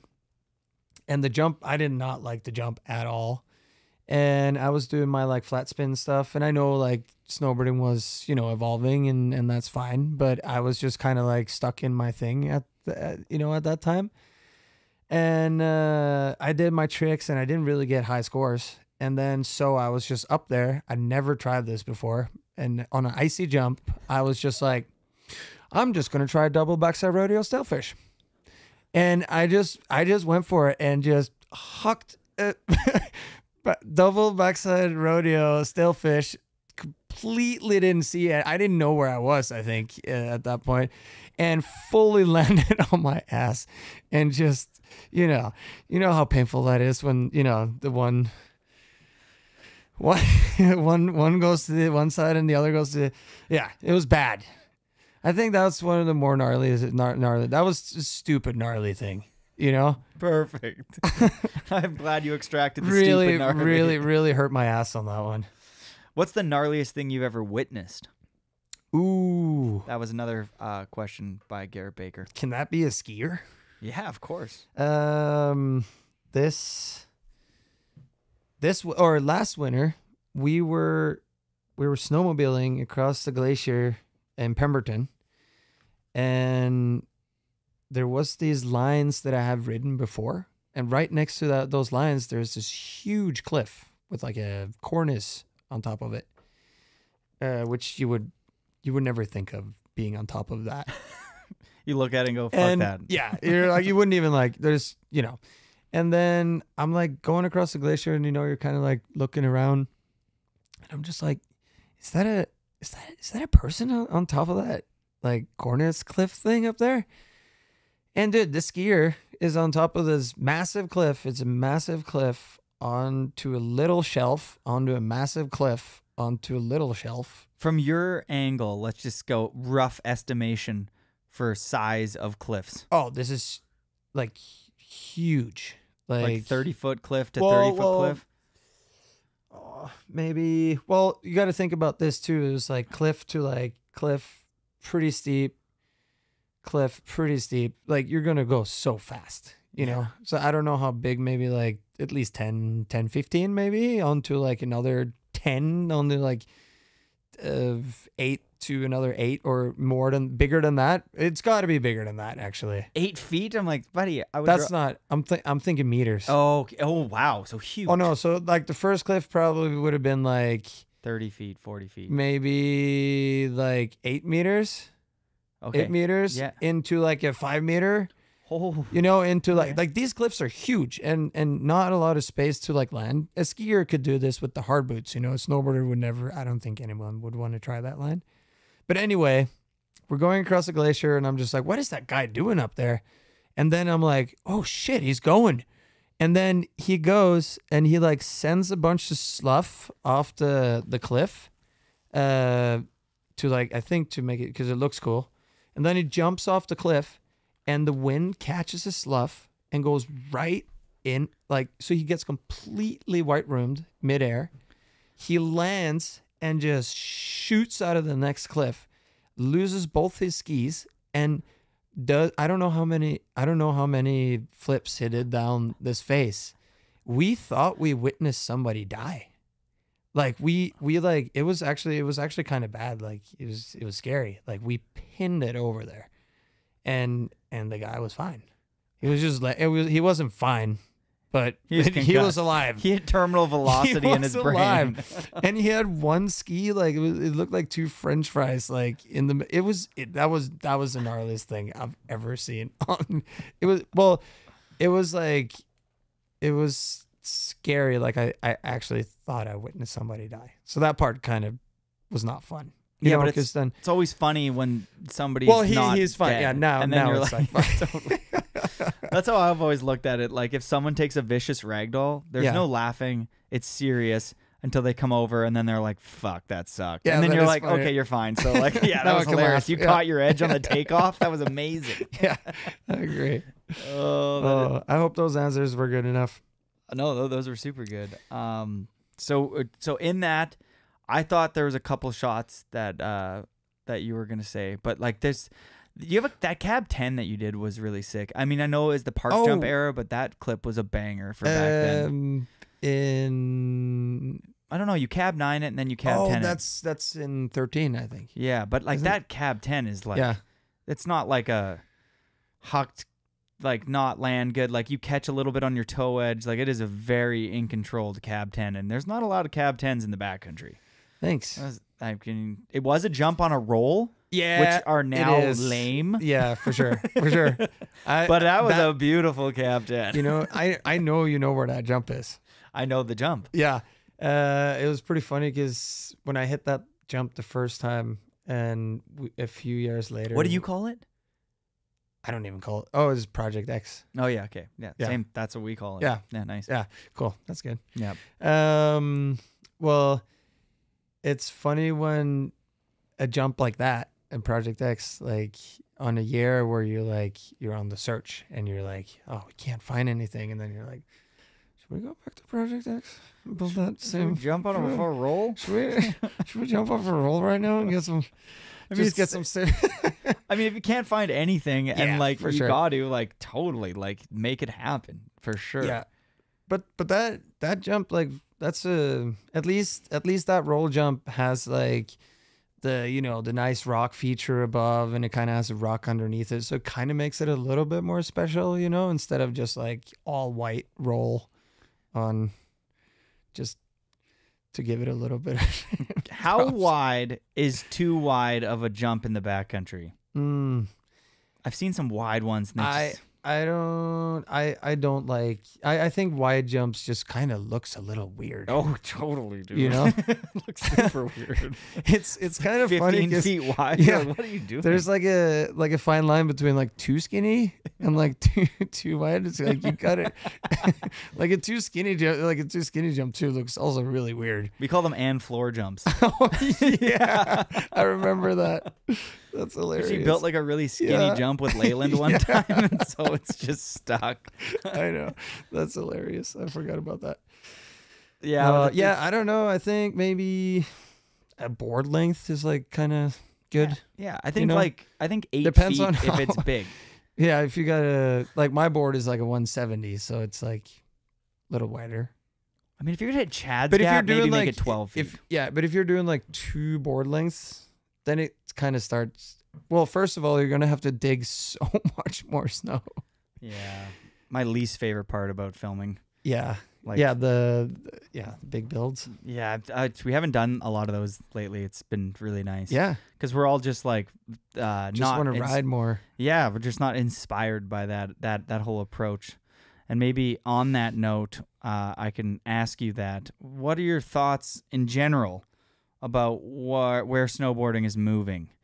Are you hyped? Are you disappointed? Are you more excited than ever? Are you like, what the hell? Uh, no, I'm. I think it's. I, I like where snowboarding is going. I um. I had a time in my career, and that was at the end of my uh, competitive um career.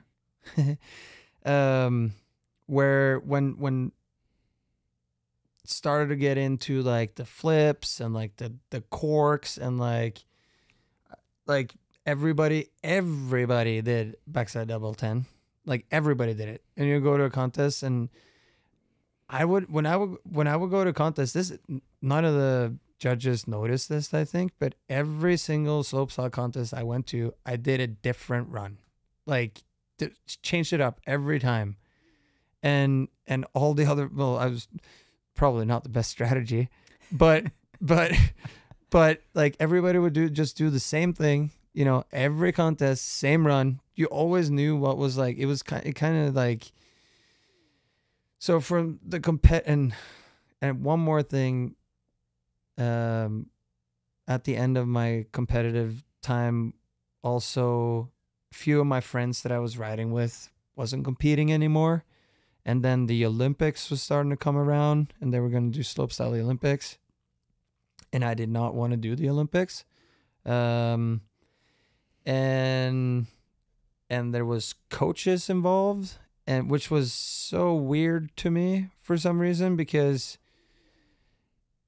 at I was used to being at the top of you know the contest with my homies and just like yo like have a good run and like like that kind of thing. And then it kind of became this thing where people were like separated because they were on a team with a country and then it the the like homie thing was kind of gone. Uh that's one thing that i disliked. Uh and then all the the you know aerial skiing type of like where snowboarding was moving into. And at the time i hated it uh because that's not the way i looked at that's not the way i looked at snowboarding it's not what i like grew up watching you know um but but now uh honestly i think it's great nice. I like Yeah. that you're like, I hated it, but now I'm like spinning as yeah, much no, as you but. I, I, yeah, I was just, I think I, I just had a time in my life where I got a little bit annoyed on things, and I think it also had something to do with that I didn't really want to be doing that, and and that kind of and but um That's an honest way to look at it, though. I like that. yeah, You I, like, I hate this, and then you're like, wait, do I really hate this, or do, do I just not want to do a switchback 16 exactly triple cork? exactly, and and like being in that whole what what the contest scene was like turning into, Turning you know? into yeah. So I didn't like that progression of the contest scene when I was in it, but uh, but right now, like for me, I think snowboarding. I think it's great. What snow what snowboarding is, you know, it's it's so impressive. Holy smokes! Like the the stuff those guys got to do nowadays, and the like the slopestyle events and the half pipe, dude, is it's nuts. You know, um, women's snowboarding is so fun to watch these days. Like like Zoe when she did like recently she did like a switch switchback side 12 like tail or something and I was just like that was so sick. Yeah, it was. Like It what? was. Yeah. You got to go do that in the backcountry or something. Like that that was yeah, that was really cool. Uh but yeah, I also think competitive snowboarding right now how crazy it is. It kind of separates separates like competitive snowboarding from backcountry snowboarding, More than ever. which I think also is kind of great. You know, cuz then it it kind of has like it just shows two different sides of snowboarding. If you want to do if you got to do four flips on a jump, that's so impressive and it's gnarly, dude. And these guys are doing it and making it look cool. Hell yeah. And you know, and these guys are out riding powder and doing crazy, crazy lines and doing like it's all sick, you know. Um yeah, I just I just like the fact that like I think backcountry snowboarding is getting a little bit more respect for what it is because of how competitive snowboarding like what it's turned into. Totally. Um I, I yeah, I think that's my answer. Like I, I just I like where it's going because it's just like it's yeah, it's it's it's cool and people are killing it and I, I like that the, the the old days though. I like um how all of the contest guys, Kevin Jones or Peter Line, Yeah. two people, but they would win all the contests and then they would end all the videos. Like Yeah. and it's almost like being uh the the textbook definition. Uh, the old head in me is like that's the sickest, but now I'm like that's no longer going to be a thing. When you see the generation that's about to sweep the rug from McMorris, Red, like the next generation in five years or four years or even in three, like I hope I hope to see Mark and everyone like that win their gold medals at the Olympics. But the the scale on the growth in contest riding and what people are able to do now year over year is it is running rampant. Like it wasn't that long ago where the 1260 was the trick, and now we're at 21 Oh, dude, don't even start with that stuff, dude. I, I've just been doing like five, five, like five, five rotations. Like 2160 Dude, like what's the run gonna be? Back 18 front 18 and then like i don't i don't even know. I don't i don't know anymore. I can't comprehend it. But like i do like that you touched on how that's gonna separate the two. Um and like you said some people make tricks like the 16 and the 18 look good and that is when it's the most surprising is For when they sure. they And- hold a good line and they land good and they do a good bone and you're like for what that is Dude, you I- are doing that perfectly Yeah, dude, I have I have mad respect for those guys. Like that that is you you go try and do a frontside quad. you know, on like an icy park yeah, jump dude, it's light so impressive and yeah. But it is pretty crazy too though like what those kids have to do now to be able to get in the spotlight uh compared to like what you had to do back in the days. It's pretty crazy. Like like I would do contests and like back in the day and maybe get like one hour of sleep and still go ride the event, you know? Uh, don't have to get into details, but like that, I was pretty young when that happened. Like I was like 19 and like, you know, just ear- early days. Um, should I say 21? Yeah totally yeah you can say whatever you want i mean 19 we're in canada man Well, You yeah, exactly. 18, 18, and drink in here. Norway. Yeah, yeah. No, but I'm just saying, like, you can't like go and have a party and then go win X Games right now. your, coach your coach would be diff- disappointed Oh yeah, your coach. Would, your coach would be so mad he'd be spanking you. Totally. I mean, like you were saying, like I like that you touched on how like there wasn't like people at the gate being like, Yeah. Michael, you can't come and say hi to Danny right now. Danny's focused and he's Yeah, dropping in. You're like, what? I like just- we're friends. I just want to say good luck, Danny. Yeah, ex- exactly. I, I just I don't know. Yeah, I um, I didn't like the part where the f- like the being friendly at the start of the game, where like where everybody can just like get along, where it kind of turned into a thing where everybody got separated because we were on a different team or like blah blah blah. You know, it's like I know that. part I didn't did not appreciate, but. How many contest medals? You have uh, X Games, Elite U.S. Opens. I got Arctic Challenge. um, uh, two bronze uh, in X Games, one slopestyle and one big air. I won the U.S. Open in 2010. Uh, I've won uh, New Zealand Open. Like these are all like the Burton contests, like New Zealand Open, uh, Nippon Open, Japan, Ooh, what was that prize purse? uh, Canada Open. I won uh, one year actually. uh, COP, Calgary. Yeah, Nice. yeah. Um, Air & Style, second place, first place, rookie year. That was actually um the one that was a big moment in my career. Actually, I think when I did um, um, Air & Style in Munich, and the the year prior, um, I was 16 and I was invited to like the rookie challenge. And I won the rookie challenge, meaning I would advance into the to the ma- like to the actual contest the next year. And then at the draw, I drew or Travis uh, Rice drew me, and I was 17. And everybody was like, "Woo!" You know, and like I was going against Travis, and then I was just like, "Huh, well, shit, I, I really don't have anything to lose now," you know. And then I ended up beating him. What did he do? Um, Double back rodeo? Yeah, I think he did double back rodeo. I did switchback ten. You can, I, I'm sure we can find those clips on. Oh, somewhere. we'll look for them.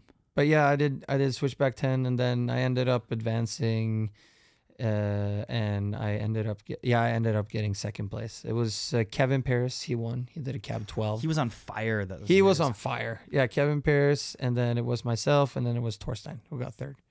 Yeah, like the rise of Torstein and Kevin Pearce. Like I think Yeah, if Kevin seriously. Pearce didn't have his head injury, like I remember like Oh, hearing man. about him, and then there was like literally one year. It was like an 18 month period of him just absolutely like fucking everything up. Dude, like he was he was on fire. He was so determined. No, deter, do you- determined. determined. He was so determined and like you you could just tell how much he wanted it, you know? Like he really wanted it and obviously he loves snowboarding, but yeah. He had the Shaun White focus. Yeah, exactly. Yeah, yeah. He was like true competitor, that guy. And Have you- also, wow, such a good snowboarder. You ever hang out with Shaun White? Yeah, I have. No way. Yeah, yeah, yeah, for sure. Dude, actually, the first time I met Shaun White actually was in Hemsedal on one of those Burton shoots. And I was uh we can find probably find those clips actually. I can try and help you find those clips. Um You're making homework for yourself. I like this. Yeah.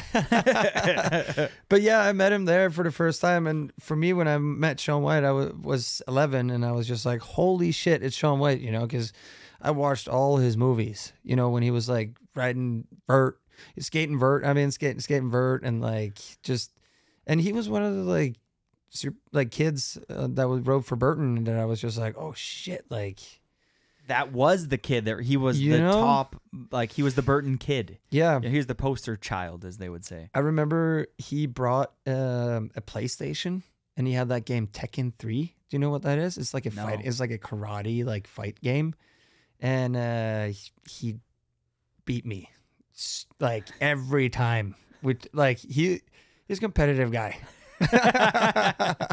no, he was way better at the video game than I was. But uh, no, I, I got nothing bad to say about Shaun. I um I honestly really like him. He's he's always been really really nice to me, and um he he's done his you know path with snowboarding, and that's you know whatever he did, you know. But uh, I have uh lots of respect for that guy. Also, if we're gonna talk about his snowboarding, like first time I watched him like live uh, at X Games when he was just like he was just going so much bigger than everyone else. Where it was I was watching it live and I was just like, what the you know? And so you know you can't like dude is dude was freaking ripping. Yeah, I heard, I heard once on um, ah, where I don't know where I heard this, but uh, there was maybe a quote or something like that, but it's stuck in my one of my filing ca- cabinets of my brains. Sean Kearns being like, "You can only like who's like an iconic filmer. He's just like you can only make fun of somebody for the style thing until they start going so so much bigger than you. Then you have to shut the fuck up. dude, dude, seriously though. so but it was it was crazy, like watching him ride pipe like that. Like he was just like, like he was just going so much bigger than everyone else. It was nuts. It's kind of like what's going on right now with the Japanese riders in the pipe. Like, Oh, yeah, what- dude. what's his name's doing it? But I, uh, the guy Kaiju? from no, sorry, the guy who keeps winning, but he's uh Australian. Oh, Scotty uh, James. Scotty James, yeah. Like he's insane at riding pipe. But when I see the Japanese team ride that half pipe Dude. after, I'm like, I wish they're I could so- look like them. Like Oh, they look man. so sick. I know, same. They're so stylish, There's dude. Japanese riders who they Dude, have the best style. One thing that trips me out is the like triple cork in pipe. Ugh, no, stop. It's actually scary because That's like nuts. that I mean it's nuts, but it's also like we don't need like you know what I mean? I don't know. It's just like dude, Yeah, like you can't fuck that up. Like Yeah. that's live television stuff, you know? Yeah, A know. quad cork in the pipe? Oops. Mm. I've seemed to lost my way. It's like, oh no. Like, dude, get the scoop out. Like, Yeah, dude, seriously. A 20 foot Dude, oh. I I think aerial skiing like banned five flips or something like that, like for the Olympics or something, where it was like too dangerous to do like that many flips. snowboarding's like go for it. Yeah, yeah, I know. I'm like wondering, like, do you think we'll ever get to the point where where like they're like, okay, you can't do seven flips. That's just We made fun of aerial skiing, but we were never going to get there. Then we got there. Then we've exceeded there, and now we're just we're just still going. Like, dude. Do you remember? Do you remember that video game 1080? Oh yeah, Yeah, this is my first so- game. Dude, same. Yeah, And uh, it hurt your hand to do a 1080 because you had yeah. to move the thing so quickly. But I remember when we finally got to the 1080, and I was just like, I was like, 1080, you know, like, are you kidding me? That's not possible. like you would look so crazy. Yeah, and then and then obviously the, uh, people started doing that, and then there was this other game that was called SSX. Do you remember that? That game yeah. sucked. But dude, that's kind of like 2? what that's kind of what like snowboarding is right now, though. It's they S- were doing like they were doing triple corks. That's the they reason why SSX Tricky is not in the booth, and that's the reason why Amped Two is because that's the vibe. That's a good one. I know. Amped Two is Do like they still make those? No, They should they should bring that back. they don't have like an Amped 2 style video game. They have like the one that Mick Mo's in. Are you in that one too? No, I don't think so. It's it's fine. Oh, I, I'm definitely not in it. I would have known. okay. yeah, okay. I don't know. Have you ever been in a video game? Uh, no, I haven't. Come on, someone someone put him in Come on, let's game. let's make an amp and I want to be in it. I want to be like the, the podcast. I'm not in it as a snowboarder. I'm just like this like fucking guy who like comes out like, I'll help you set up your board. this is like a fucking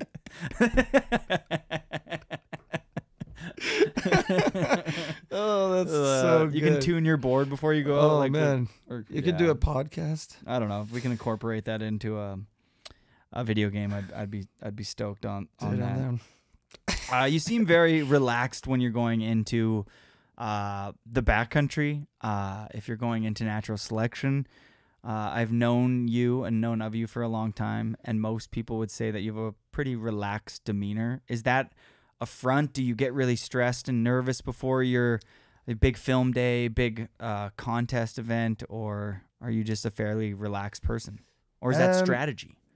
Oh well, yeah, good question. I um, I like to approach uh relaxed, you know, because there's not really any. There's no reason to like get like get nervous way before you're gonna go do something, you know.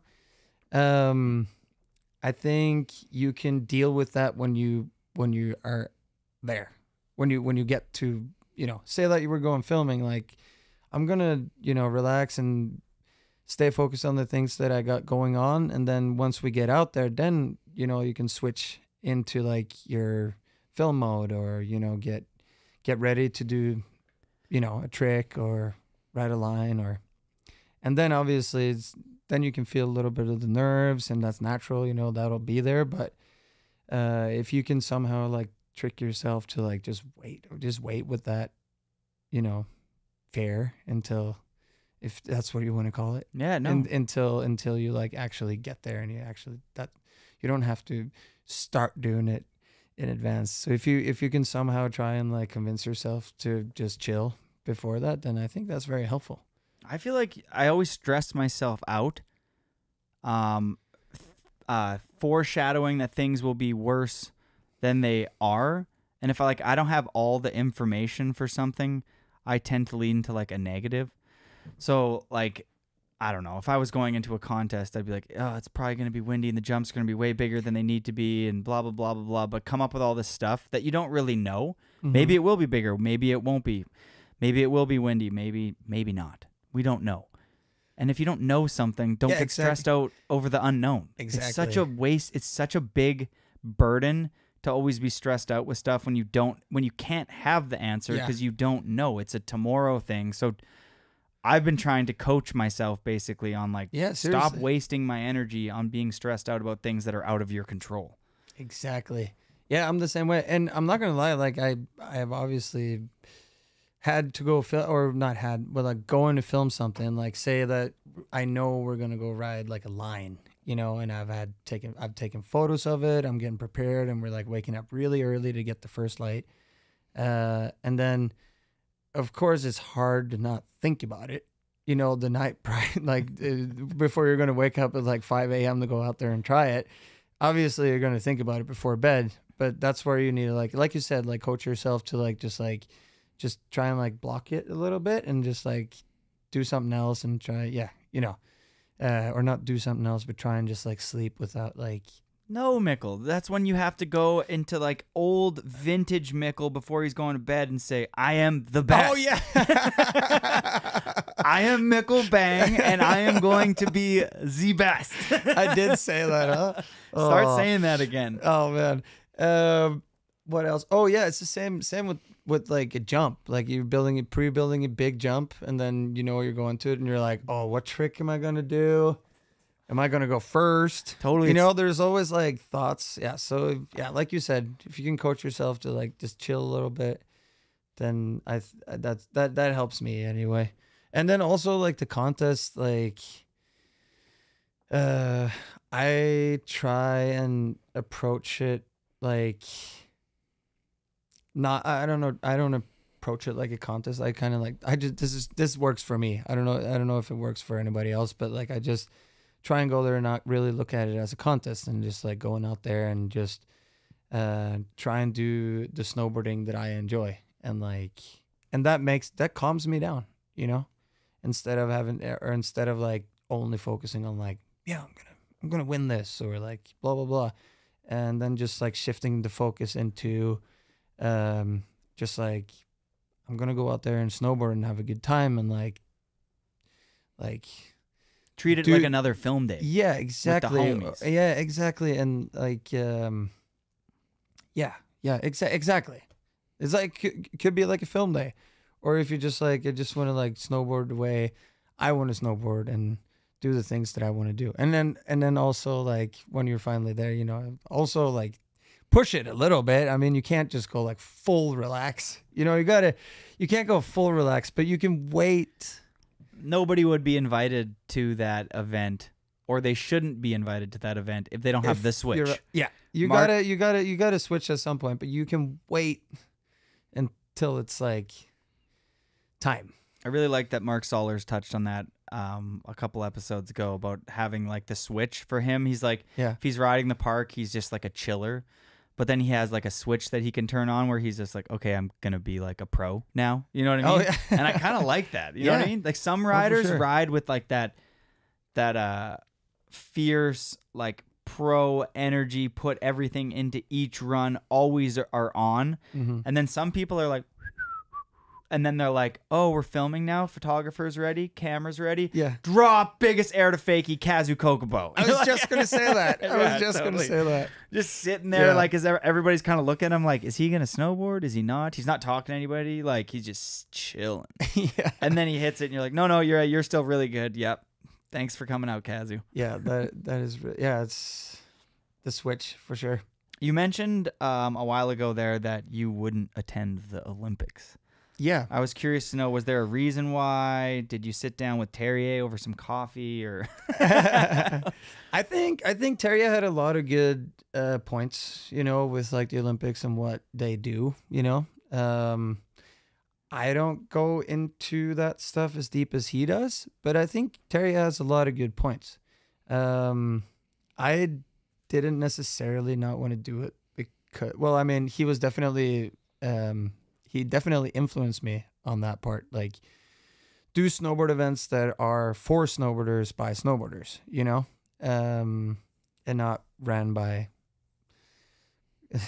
ski, ski corporate uh, ski companies, you know. Yeah, totally. Corporations that don't give back Yeah. to snowboarding. Yeah, exactly. Um, but I don't know what it was. I just didn't. I I never had a thing for the Olympics, and I understand why people do, but for me, it was. It was not something that I wanted to do, and it might also be because of the stuff I talked about prior, where it was like I think I was coming to the point or where things were starting to change, and I didn't like the change where where things were going and I don't know. I had been I had been competing for so many years, and I think I was just kind of it. It wasn't for me anymore, you know. And one of that one of those reasons too is because my dream was to film in the backcountry. That was like my main goal. Like even when even when I was like doing X Games and like like um US Open, I was filming on the side. I didn't I didn't like uh, go to training camp and learn tricks. I I went and filmed, and that's how that's what I did on the side of the contest. So like, my dream was to do that, and like all the riders that I looked up to, they they were filming video parts, and also powder was you know that was that's what I wanted to do. So, but actually pretty funny. Uh, just quickly because when when I stopped competing, um, it was right before the Olympics uh, a lot of people wanted me to do the Olympics because I was like I was doing pretty well, and people wanted me to do it, and I actually like and I I broke my humerus skateboarding, so I was out an entire season. Um, and then that summer, I went to New Zealand, and I had agreed like, okay, you know what, screw it, I'm gonna do the Olympics.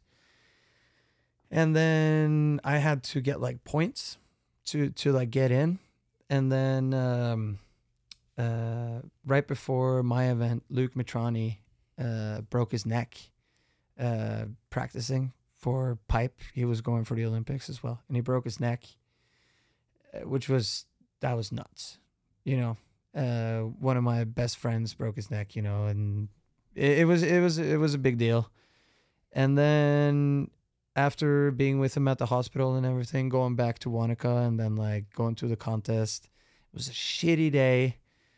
I didn't have any friends at the top of the the contest. Uh, you know, at the start gate, it was shitty weather. I did not want to compete at all. It was just I did not want. I just didn't want to be there really, but I did it because people wanted me to do the Olympics, and I was I agreed to it, and I broke my arm uh, doing a cab 10 and under rotated and broke my arm, snapped my arm right in right in half. And when I was laying in the hospital bed and my arm was like sticking out to the side, I was just like, why am I why am I doing this? Like I didn't even like I didn't want I didn't want to do this. And then I was like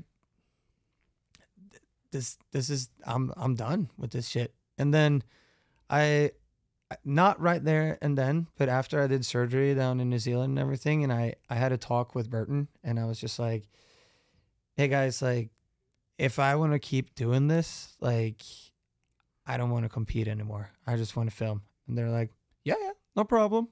And I was just like, "What? is that it? like, is that it? Like."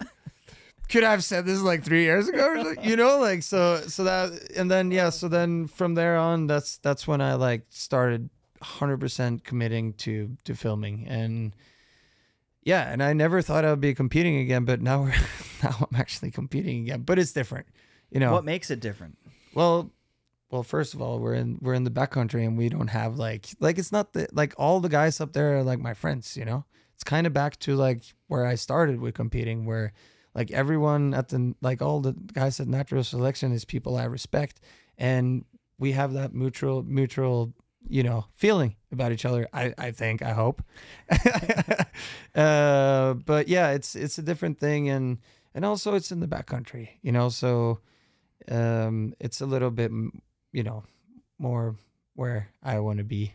From an outsider, um, judging the event and seeing what it would be like for somebody who's new to the backcountry that gets invited to that event by Travis, whoever, and shows up, the fact that it's a multi day event makes everybody get intertwined. Everyone gets to know each other. Yeah. And so throughout a week, by the end, you're like, I like that guy. you know what I mean? Or like, sure. or like, okay, may maybe not everybody likes everybody the same amount, but at least you get the opportunity where Yeah, a for sure. contest, you stand up on the top of the run, you see them for two seconds, then you see them next year. That's all it is. It's Yeah. like this is a really healthy way of building It's- like real community with between the top level riders around the world. Absolutely, it's not. It's not as much. I mean, it's a competition, and people get competitive, you know. But uh, it's it's not the same as Same energy, same vibes. Yeah, it's thank just you. different. Yeah, exactly. Yeah, totally. So I I really like that part.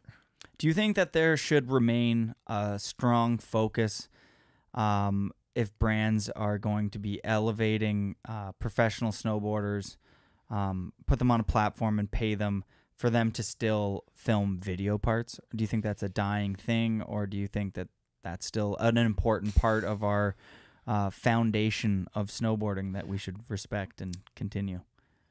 I actually like a good example is actually the Beyond Medals guys. I'm gonna bring them up again because they just they've been making movies like the last movies that they and they do the film tour and they do it the old school way like they you know and people love it like i went to some of their premieres and and it's full like people are so hyped and like everyone that we talk to is just like this is so nice like motivation before the season and you know i i feel like obviously we're in the era of social media you know and that's that's just something that we do now.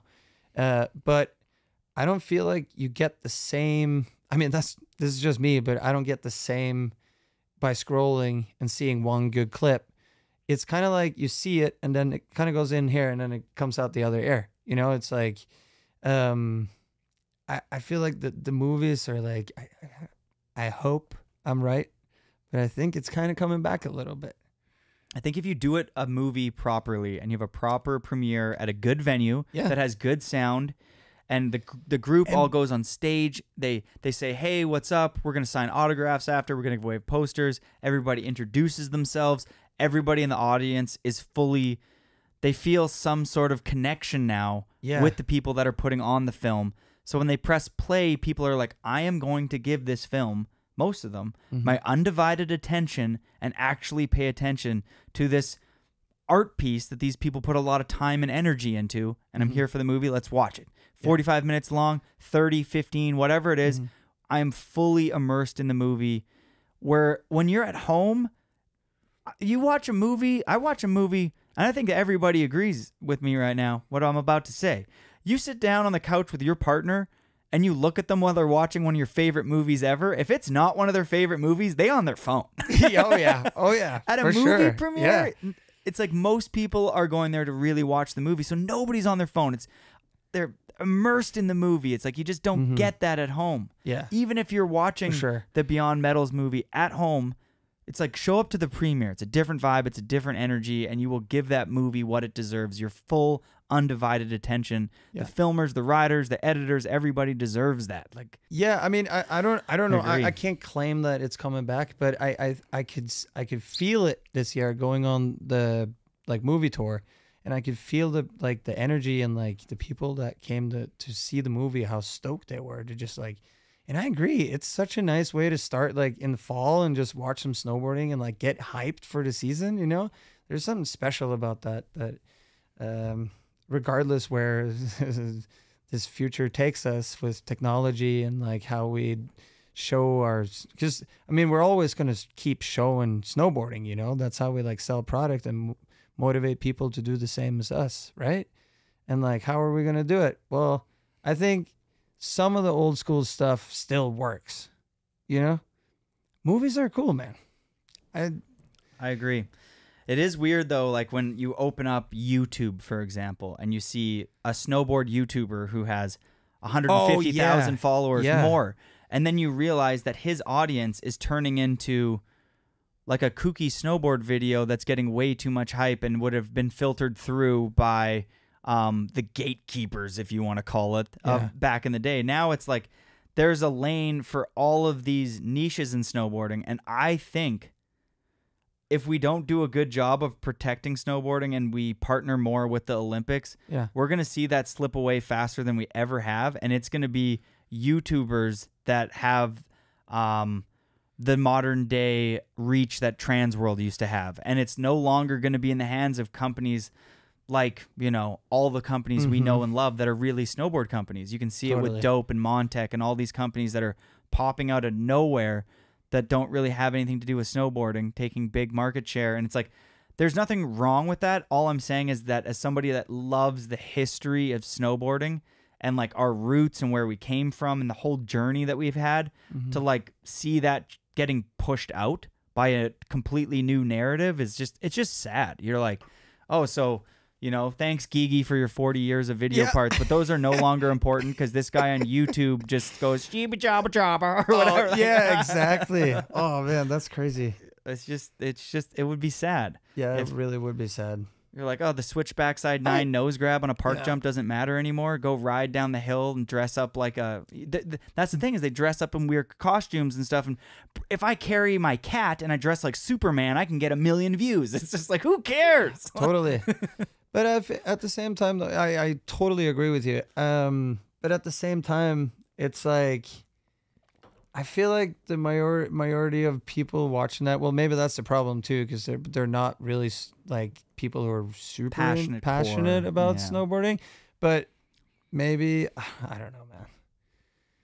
It's just It's tricky. it's it's a tricky one. It's tricky because you want people to experience snowboarding and have as much fun with that tool as possible. Maybe that's the first step for them to get interested in snowboarding. It would be weird if they want to go snowboarding because this person is holding a cat and got a weird hat and it's like but I don't know. I I I think in the end, whatever happens with our future and like what we do to promote snowboarding, I, I do think that like we're always gonna like to see a snowboard movie.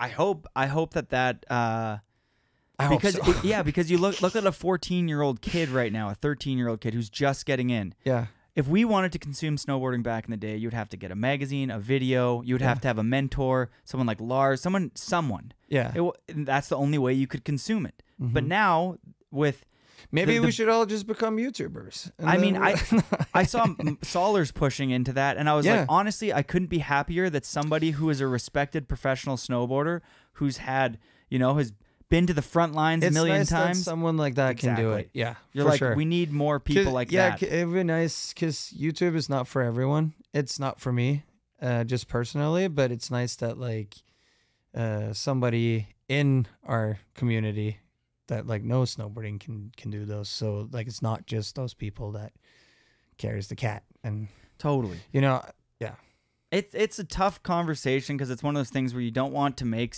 uh, snowboarding seem like too like oh there's gatekeepers and it's like it's just a certain club. It's like we want everyone to join the club, but I want people to join the club that I'm a part of because I think it's really special and it's good for the world and it's like there there's so many amazing in, individuals who have like shaped this cool artistic art form that I love Yeah. and to just remove that and erase that like it wasn't important is just like everything I've known and loved just gets deleted because Mm-hmm. there's people that are better at getting the the algorithm dialed and Yeah. stuff. It's just like ah. yeah that is that is really frustrating. So thank you to all of you for watching this. Yeah, uh, seriously. yeah, I mean, if they're watching a Mikkel Bang airtime episode, we're doing we're doing something right here. Yeah. Um, all right. Uh, natural selection is coming up. Let's just say that you're in the drop in gate. Is there anybody you don't want to be uh, going against? Is there anybody like, no, not them, or are you like, whatever? Dude, honestly, uh, at this point, I don't want to go against any of them. You know, it's like it's like everyone is so good, and and with the whole knockout system too, you never any, like anything can kind of happen. Uh, but then I kind of go back to what I said earlier, where it's like it's like like what I will do is just not care so much what they do and just focus on my own path and and that's gonna like keep me not worrying about who I'm going against. Okay, let's just say you get first. Yeah. Is there anybody else that you would love to see on the podium beside you? Oh, uh, on the podium, Yeah, you get double. You get Uh, you get first. Ben, for sure, Ben. Is yeah. he like your little brother? Dude, we uh I guess he just turned 29. Uh yeah, he's he I wouldn't say he's like my little brother. I would he's my brother, you know. I we uh we've been traveling so much uh now together and yeah, dude, he is he's such a good guy and what a snowboarder, dude. And mo- and motivated. It's actually been really nice to ride with him too because like um I'm not gonna. I'm not saying I'm not unmotivated, but when you're 29, you're more motivated than when you're 34. Totally. I think. At least that's what I feel like right now. But being with someone or like shredding with someone who's younger than you, like him, and like who has that, like still that, like we got to get the shots, you know, it's um definitely helps. I look at like the Devun Ika combo though. You know what I mean? Like Ika starts riding with Devun. I'm imagining Ika was like fired up, lots of energy. Yeah. Devun maybe not the the same amount of energy, but Devun's like can help him navigate the waters of being in the backcountry and what shots might work up, whatever, doubling the sled, whatever needs to get done. Yeah. It's super important to have that like older younger uh yin and yang mentorship and I think that Ben is a good yin to your yang out For there. sure. And honestly, like uh, when it comes to age, like I don't even like think about that when we're together. You know, like age is just number at that point. You know, we're we're out there and we want to ride the same stuff, and we're good buds, and yeah, yeah.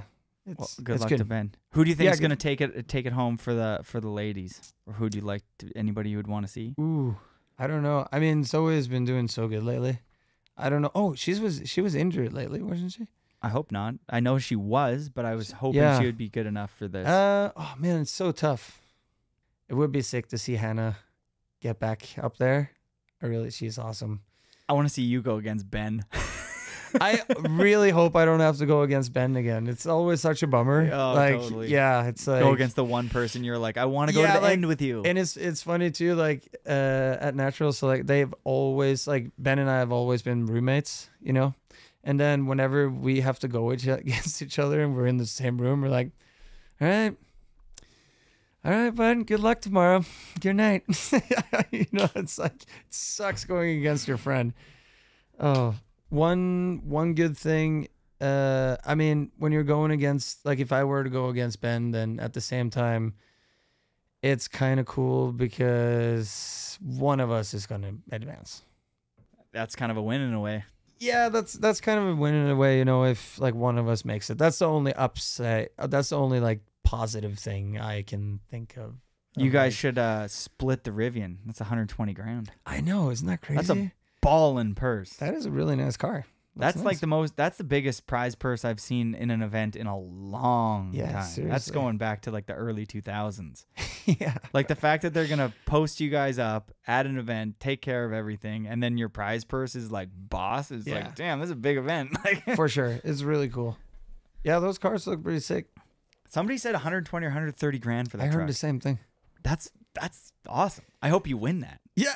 I mean, I also hope I, hope have so. so many friends going there. It's like asking me who's good at like who I want to win. I'm like, Yeah. man, it's I. I mean, a Canadian sweep is what I'm hoping for. Yeah, for sure, dude. I actually, I hope, uh, I think um, Mikey Ciccarelli might be a good one this year. I've been watching him lately, and he's been like, he's been riding a lot. You know, I think he's got strong legs, and he's got the mentality to like go out there and like do great, great things. So He's got the eye of the tiger. he's got the eye of the tiger, and I'm excited to see what he does this year. yeah, there's a there's a lot of riders I think that are. Yeah, there's it's gonna be a good. Mick Mo is back. Yeah, I know. Yeah, it's uh, yeah, it's gonna be a good one. I think it'll be a good show. Uh, bang slalom. Yeah, You put that event on. What is it for people that don't know? It's on your cup over there. I can yeah, see. just promoting over here. Yeah, shine that into Um, the this camera three over here so people can get a glimpse. That's like one of our old stickers, actually. Oh, that looks like Um, another tattoo styled sticker. Yeah, actually, Blue Arms, the shop, uh, my friends in Oslo, they, um, uh, my friends Nicholas, he is always, he's always drawn, drawn our uh, um, posters and stickers, and yeah, they help out with that. Yeah, so Bang Slalom is a banked slalom event in Norway. Uh, this year will be our seventh annual. Damn, Yeah, already. I know, That's crazy because Yeah. to me it seems like yesterday you started that thing. I know, I know. And I've been telling you for It- seven years I'm gonna come. it's been such a like like having an event it's been such a like big like learning experience uh and to see how far we've come from what the first year we made it is it's it's pretty cool like now we got now it's almost like a festival you know and uh second year in a row where we're like we like the tickets are gone in like two hours and we have two 200 200 spots uh, so it's really starting to people people are really stoked. Uh, last year we had 46 turns.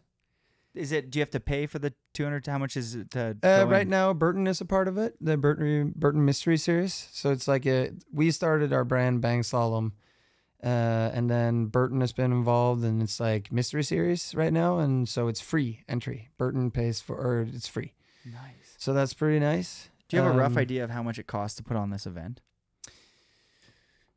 Uh, not as much as you would think. Uh, we're definitely getting a lot of. Uh, I don't want to like go into numbers, but um, the resort is paying cat hours, Wow. and then that's big. that's big. And they, you know, they they help out with everything up there. It's called Solheisen. Shout outs. Shout outs to Solheisen. That means the sun lift. Oh, the sun lift The is sun just, lift, yeah, on the sunny side of the valley. Uh, they're great. Everyone there is great, and they, um, yeah, they've been helpful, very, very helpful. Uh, and then Burton chips in, and then we have Nixon and Dragon. Uh, that's like the main main sponsors. wicked. Oh, And- Re- and Rebel. oh, I'm sorry. No, no worries. That's good to not Re- forget Reb- them. Rebel is involved too, which is really nice. They've been uh, helping us with some money. Wicked. Yeah, and uh, but it's not. We're not currently. We're not. We're not making any money on this, you know. But that's not. That's not why we're doing it. Uh, we're doing it to give something back to the snowboard community, you know, and uh, just have like a big party at the end of the end of the year with um, yeah. So there's a good there- company. there's a slalom course. Yeah. There's also like there's a hip. Yeah, that's so that's uh, a part of the mystery series. So the race uh, at its own is the Bang Slalom, and then mystery series has like an event um, that they do uh, on the side Cool. with the race, and that's kind of just like uh, a jam session and product giveaways and just you know to get everyone stoked and yeah. All right. Well, I would love to go. So uh, Pat Dodge or Zach Nigro or whoever, get me over there. Oh yeah, dude! Some- seriously, Somebody we need to get you over. somebody fly me over there. Dude, that would be sweet. We could do like an airtime. Uh, we can somehow some- find a loophole. Yeah, do like an interview thing Yeah, over there. Yeah, and then you do do the race. We have a party. Yeah, that's that's not why. I mean, I would be going for the party. yeah, I, the race. I mean, party, Norway, snowboarding, uh, speed race. Do do you go in the race yourself? yeah, yeah, yeah, for sure. Um, Undefeated, seven years in a row. First, I have. I won it once. who's the winners? Um, Matthew.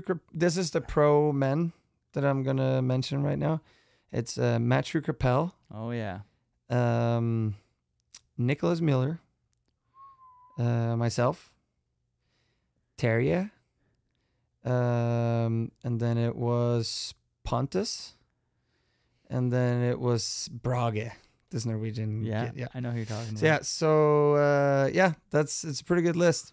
that is a good list. Who do you who you think's gonna And take Ben home? Ben has had two second places. Oh, Uh, Jared got second place last last year. Um, it's always fun, but you know, it's kind of it's kind of weird to like win your own contest. But I kind of have to like be in it. But I've also been very true. I know I like build the course. That's like my task as to like build this course, and um, it might seem a little unfair that I get to like Is be this the in it. Travis Rice talk? But yeah. but uh, I I don't ride the whole thing through, you know, before we ride the event. Um, I just I have to like I I build like two berms and then I like do the two berms, see if it works, and then I continue two Mikkel, berms. just ride the event. If you have to, if you get a couple runs in before everybody else, it's not cheating. You're putting on the event. Without you, there is no event. So that's how I looked at the with Travis when people are like, "Oh, it's like he gets to pick the venue and stuff." I'm like, there wouldn't be, Be a venue if The reason why Travis is picking the venue is because out of all of you, he, he, knows is the best at he- picking out a venue. He knows he knows where to go, for hundred percent. But um, uh, yeah. what I was going to say one last thing. So the bank, how the Bang Slalom started, and why it's called the Bang Slalom, is because I had done a few bank banked slalom events before, and I went to the Baker Baker Mhm. Banked Yeah. uh, when I was 21 for the first time.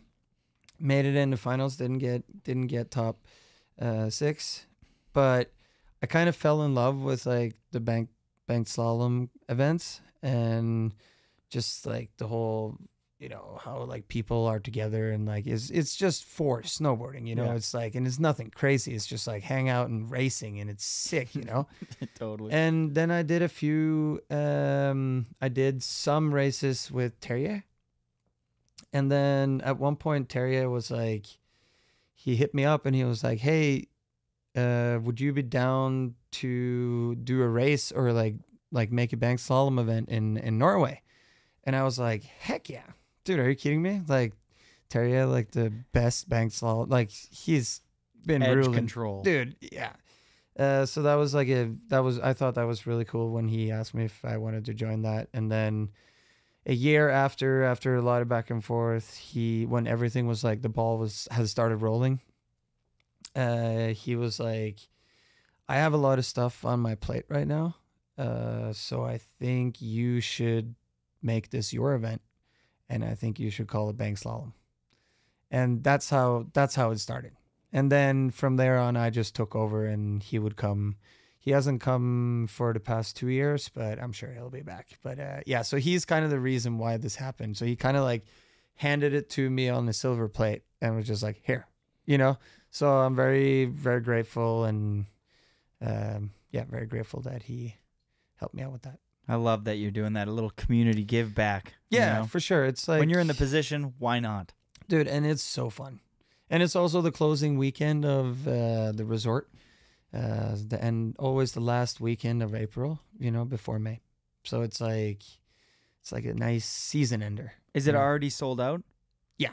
Okay, so you can't sign up for it, but you can check it out. But i have a few spare tickets if you want to come Oh, I, I definitely want to come. okay So I was just wondering if there's a way for our listeners to get in. yeah but if the listeners want if anybody wants to um, join for next year then uh, just follow check check it out on instagram i don't does know it have Give its own. Instagram? oh we do it's actually run by my friend too it's hilarious uh but yeah if you if you check on my instagram Mikkel bang then um i'll i'll give you a heads up and then you know it's uh we usually um start registration in early february okay. so if yeah i'm gonna try and like be really yeah on it on instagram to let everybody know when the dates are and then just save it in your calendar and then be ready when we put it online Mark that shit down, people.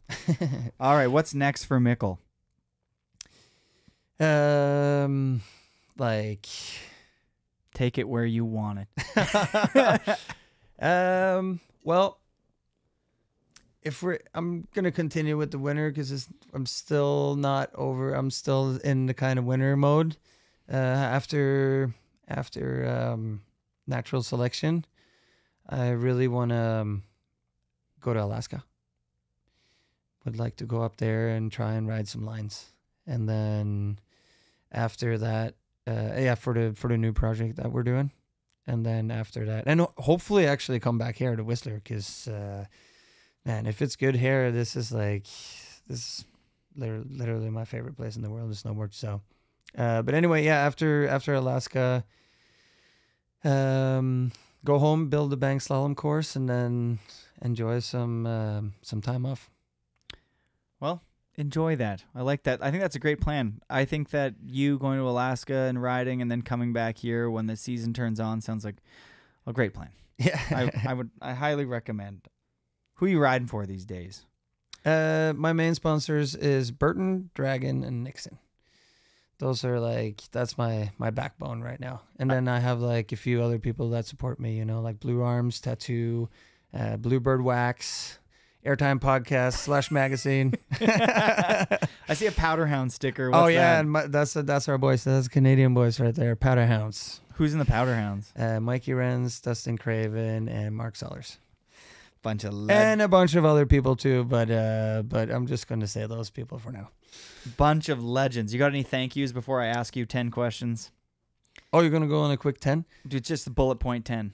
Uh, well, definitely. Um, thank you, Jake. Thank you, Lars. Thank you, my family, my wife, and snowboarding. Thank you. Have you met Jake a couple times? Yeah. You got one Jake Burton story for us before we close? Oh A man. standout Jake Burton moment. I just feel like, you know, you're on Burton, you've been on them for 400,000 years. We might as well honor I'll- the guy that gave you this entire life. I'll never forget um the first because Jake used to have these like rider roundtables where because he was very he really wanted his riders to be involved with the brand and you know to like help shape it and um, steer it towards the right direction and um Shout outs to that. Shout outs to that. Um, the first time they used to have these rider round uh, rider roundtables, and the first time I went to it, uh, after arrival, he was like, uh, "Hey, we're gonna go on a little trip," and uh, uh, I got in a, a black car, ended up at a an airport in a private airplane, flew to Boston from New York, uh, saw the Celtics play courtyard flew back on a private airplane and back to the house and partied. Like that was the that was the like I remember when that happened I was just like wow cuz like Jake Jake really really liked to he really treated us well and he wanted to like whenever he had a chance he would like spoil us. And uh, he wasn't only like that to us. He was like that to everyone. He was like the kindest, most like yeah, he was a really humble, nice, kind guy. Like, yeah, good dude. But yeah, I I and I think that also showed like how much he cared about us. So like not just this. There's m- m- so many examples of it, but he he really treated his uh, team with you know love. So I mean, if you're in the position to spoil people or like help them out or give them an experience that they would uh, never have without you and you have means to do so, it's like Yeah. that's one of the greatest gifts ever. To Yeah, be so like nice. who wants to live in a nice home by themselves? It's like they want people to you want people to come in and you want to like feed them a nice dinner and you want them to swim in your pool and you if you have a private jet you want them to use the jet. And yeah, if you have. Celtic tickets you want to hook up the homies. Dude, you that like, shit blew my mind. I was like, "What? We're on a private jet, and now we're like courtyard." I, I'm like, "What is going on here?" Did you, have know? a drink in the private jet? Oh yeah, Nice. That's yeah. dope. We had whiskey. Oh, that's sick. Yeah, full like Who like in jet a, you? like in a crystal glass. Like uh, it was me, Jake, and Greg Dacyshyn. I think was in it. Uh, but we were a small crew because we we weren't like so he used to do that to um like so any team rider that came for the first time to the round uh, rider roundtable he would do that he would take him on a private jet to watch the celtics as like a welcome you know So, So, badass. yeah, so it was pretty funny too. Whenever like whenever new people would come to to the meeting, you were like, "Oh, you are you're gonna have a good time right now." You're like, you don't even know what kind of treat you're in for. yeah, exactly. All right, some quick bullet points here. Uh, who has the best method in snowboarding? Oh, that's like, uh, well, I'm gonna say Nicolas. Best style currently and best style back in the day.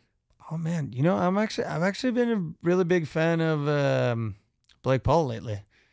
Uh, I think he's got yeah for sure. And then back in the day, I let's just go with OG JP man, JP Solberg, dude, because he was he influenced my yeah yeah really sick. Most underrated rider. Charles Reid. Oh, good pick. Uh, favorite rail rider. Ooh, Uh, Louis Paradis. Oh, nice. What keeps you up at night? Huh? What keeps you up at night? Oh man. Uh, bears. Hell yeah, brother. Uh, Cheers to that. ride or die, baby. uh, who has the best turn? Mmm, Terje. Favorite tattoo?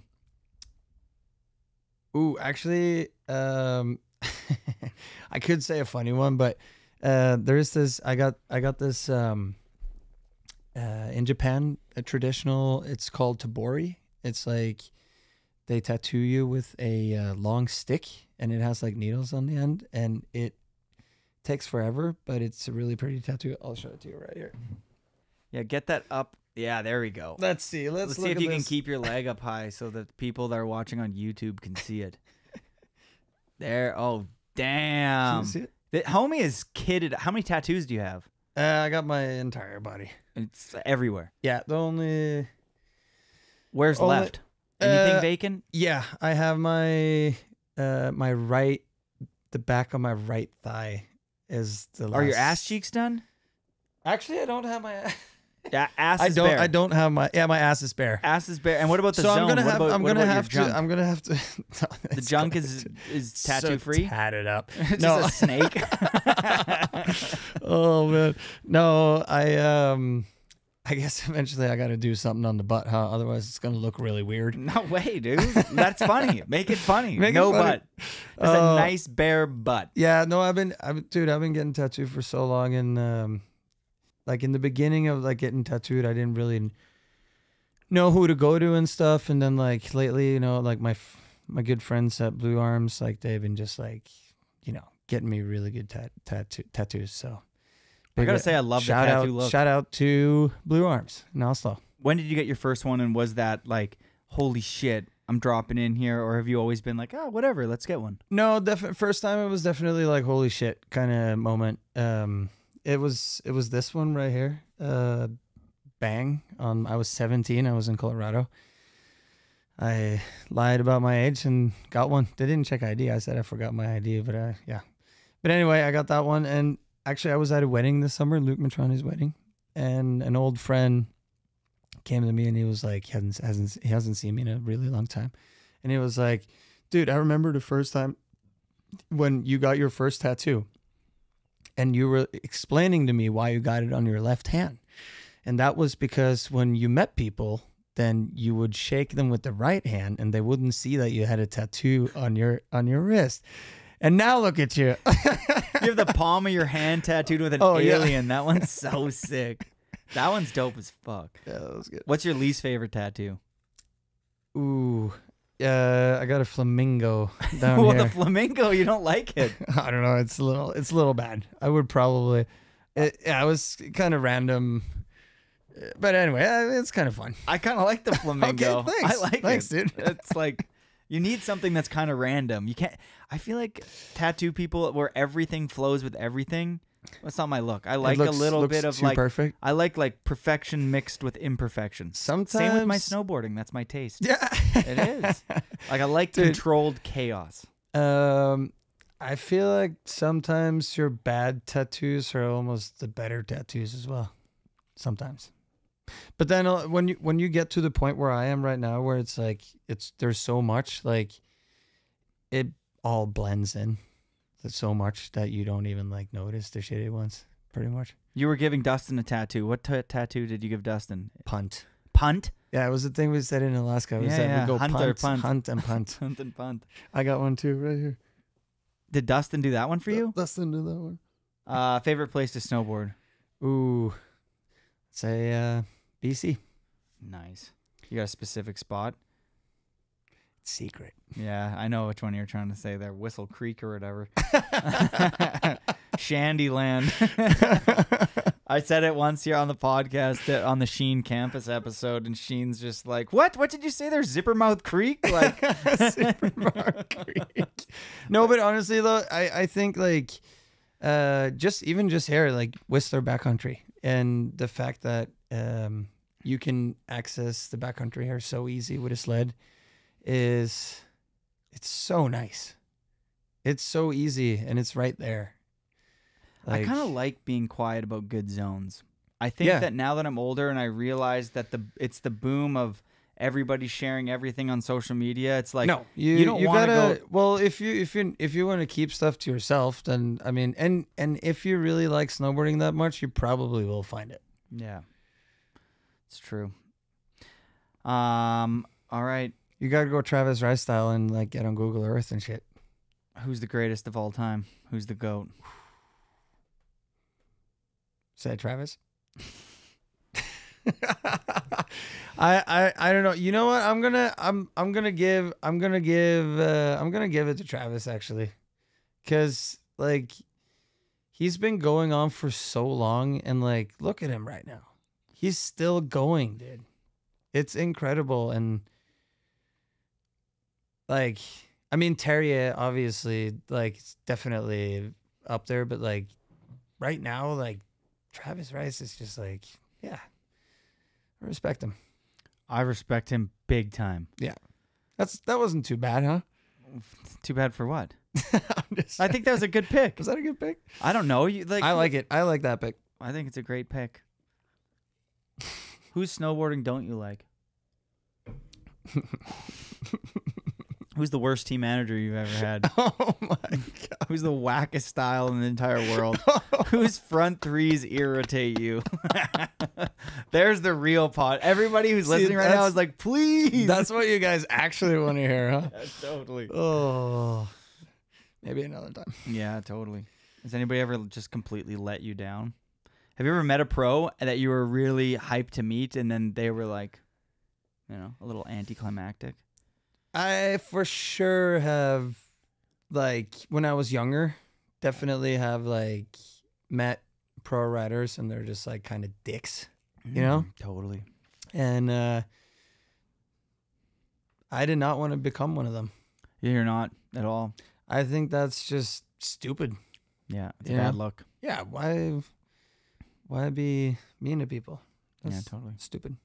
Is- have you ever hung out with Nate Bozung before? Yeah. Nice. Yeah. Wicked. Have you ever got a tattoo with Nate Bozung? No, Oh, that would have been cool. that would have been cool. nice.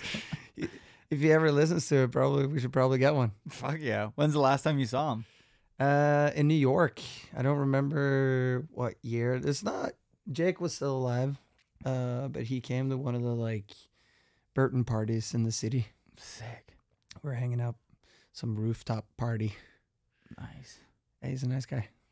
Who's your favorite rail rider? That's uh, I mean, you said Louif, but you got a couple. Of, we didn't talk about steel at all. Mm-hmm. There's people that ride Well, I think- rails I that think are just Jet- they I- feel well, excluded. I th- I feel like well, Jed Anderson for sure, definitely really sick. Uh, But like Jed Anderson, dude, like you watch his clip, like the clips he has, like you watch it today, and you're like, damn, dude, like the guy didn't even have a freaking jump. you know, he he just jumped. He doesn't have a jump. There's like there's like half an inch of snow on the takeoff, and he just pops up on it. You know, like that's pretty cool. yeah, pop. Yeah, Yep. Who is the best pop in snowboarding? Dude, actually, Nicolas had some crazy pop. I don't know if that's if he's light and he makes like twangy jumps, but he like I guess maybe Arthur Longo has like some, but he kind of makes like twangy jumps. He he? makes poppy jumps, like but he's also jumps got pop. like, yeah, he's got. He's Oh, got- he's- actually, uh, P two Pironen, Oh yeah, he was a savage. dude. When he used to hit, when we would hit park jumps with him, he popped. He really popped. That's a nice skill. I like that. You know, Burton made a sticker once that it was said, uh, uh, "I need to P two, Pironen." I, I don't. I didn't know that. Oh, that's kind of funny, isn't it? What's your favorite Burton graphic of all time? Oh, I really like the. Oof, that's tough. I I really really like the Burton Seven with the the snake. That one, I really like that one. I feel like I like the one with the the playmates on it. Those ones were cool when I was a Oh kid. Oh yeah, I like pretended I didn't like them, yeah. but then I was like, "Damn, that girl's so hot." Like- yo, we actually got in a lot of trouble for making those. I remember. Yeah. Well, it was such a good market. It was so good, such It's good genius. marketing. It was like those boards were sold out like right away. I heard Donna talking about it on the bomb hole Yeah. on her episode. But uh, All right, man. I don't know.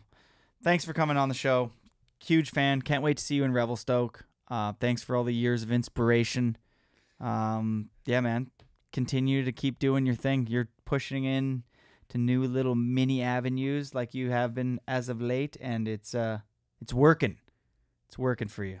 So, uh, cheers. Cheers, man. Thank you so much for having me. Yeah, man. Huge. F- I fucking love what you're doing, man. I love what just- you do too, man. It's just great. and, we need to go ride more together because today was really fun. It, ah, I, had, I, I just, if I'm being honest, kind of had like a naggy little headache today. Oh, really? Like a little headache. i couldn't- and I couldn't And then my there was like a million different things that is just like was into. I was like, it was a struggle for me to get into it. Did you drink last night? No, No. I didn't. But like, but at the end of the day, Yeah. that's when I started having the most fun. Like the first run was fun because it's a powder. Powder, yeah. And then that But that was powder panic.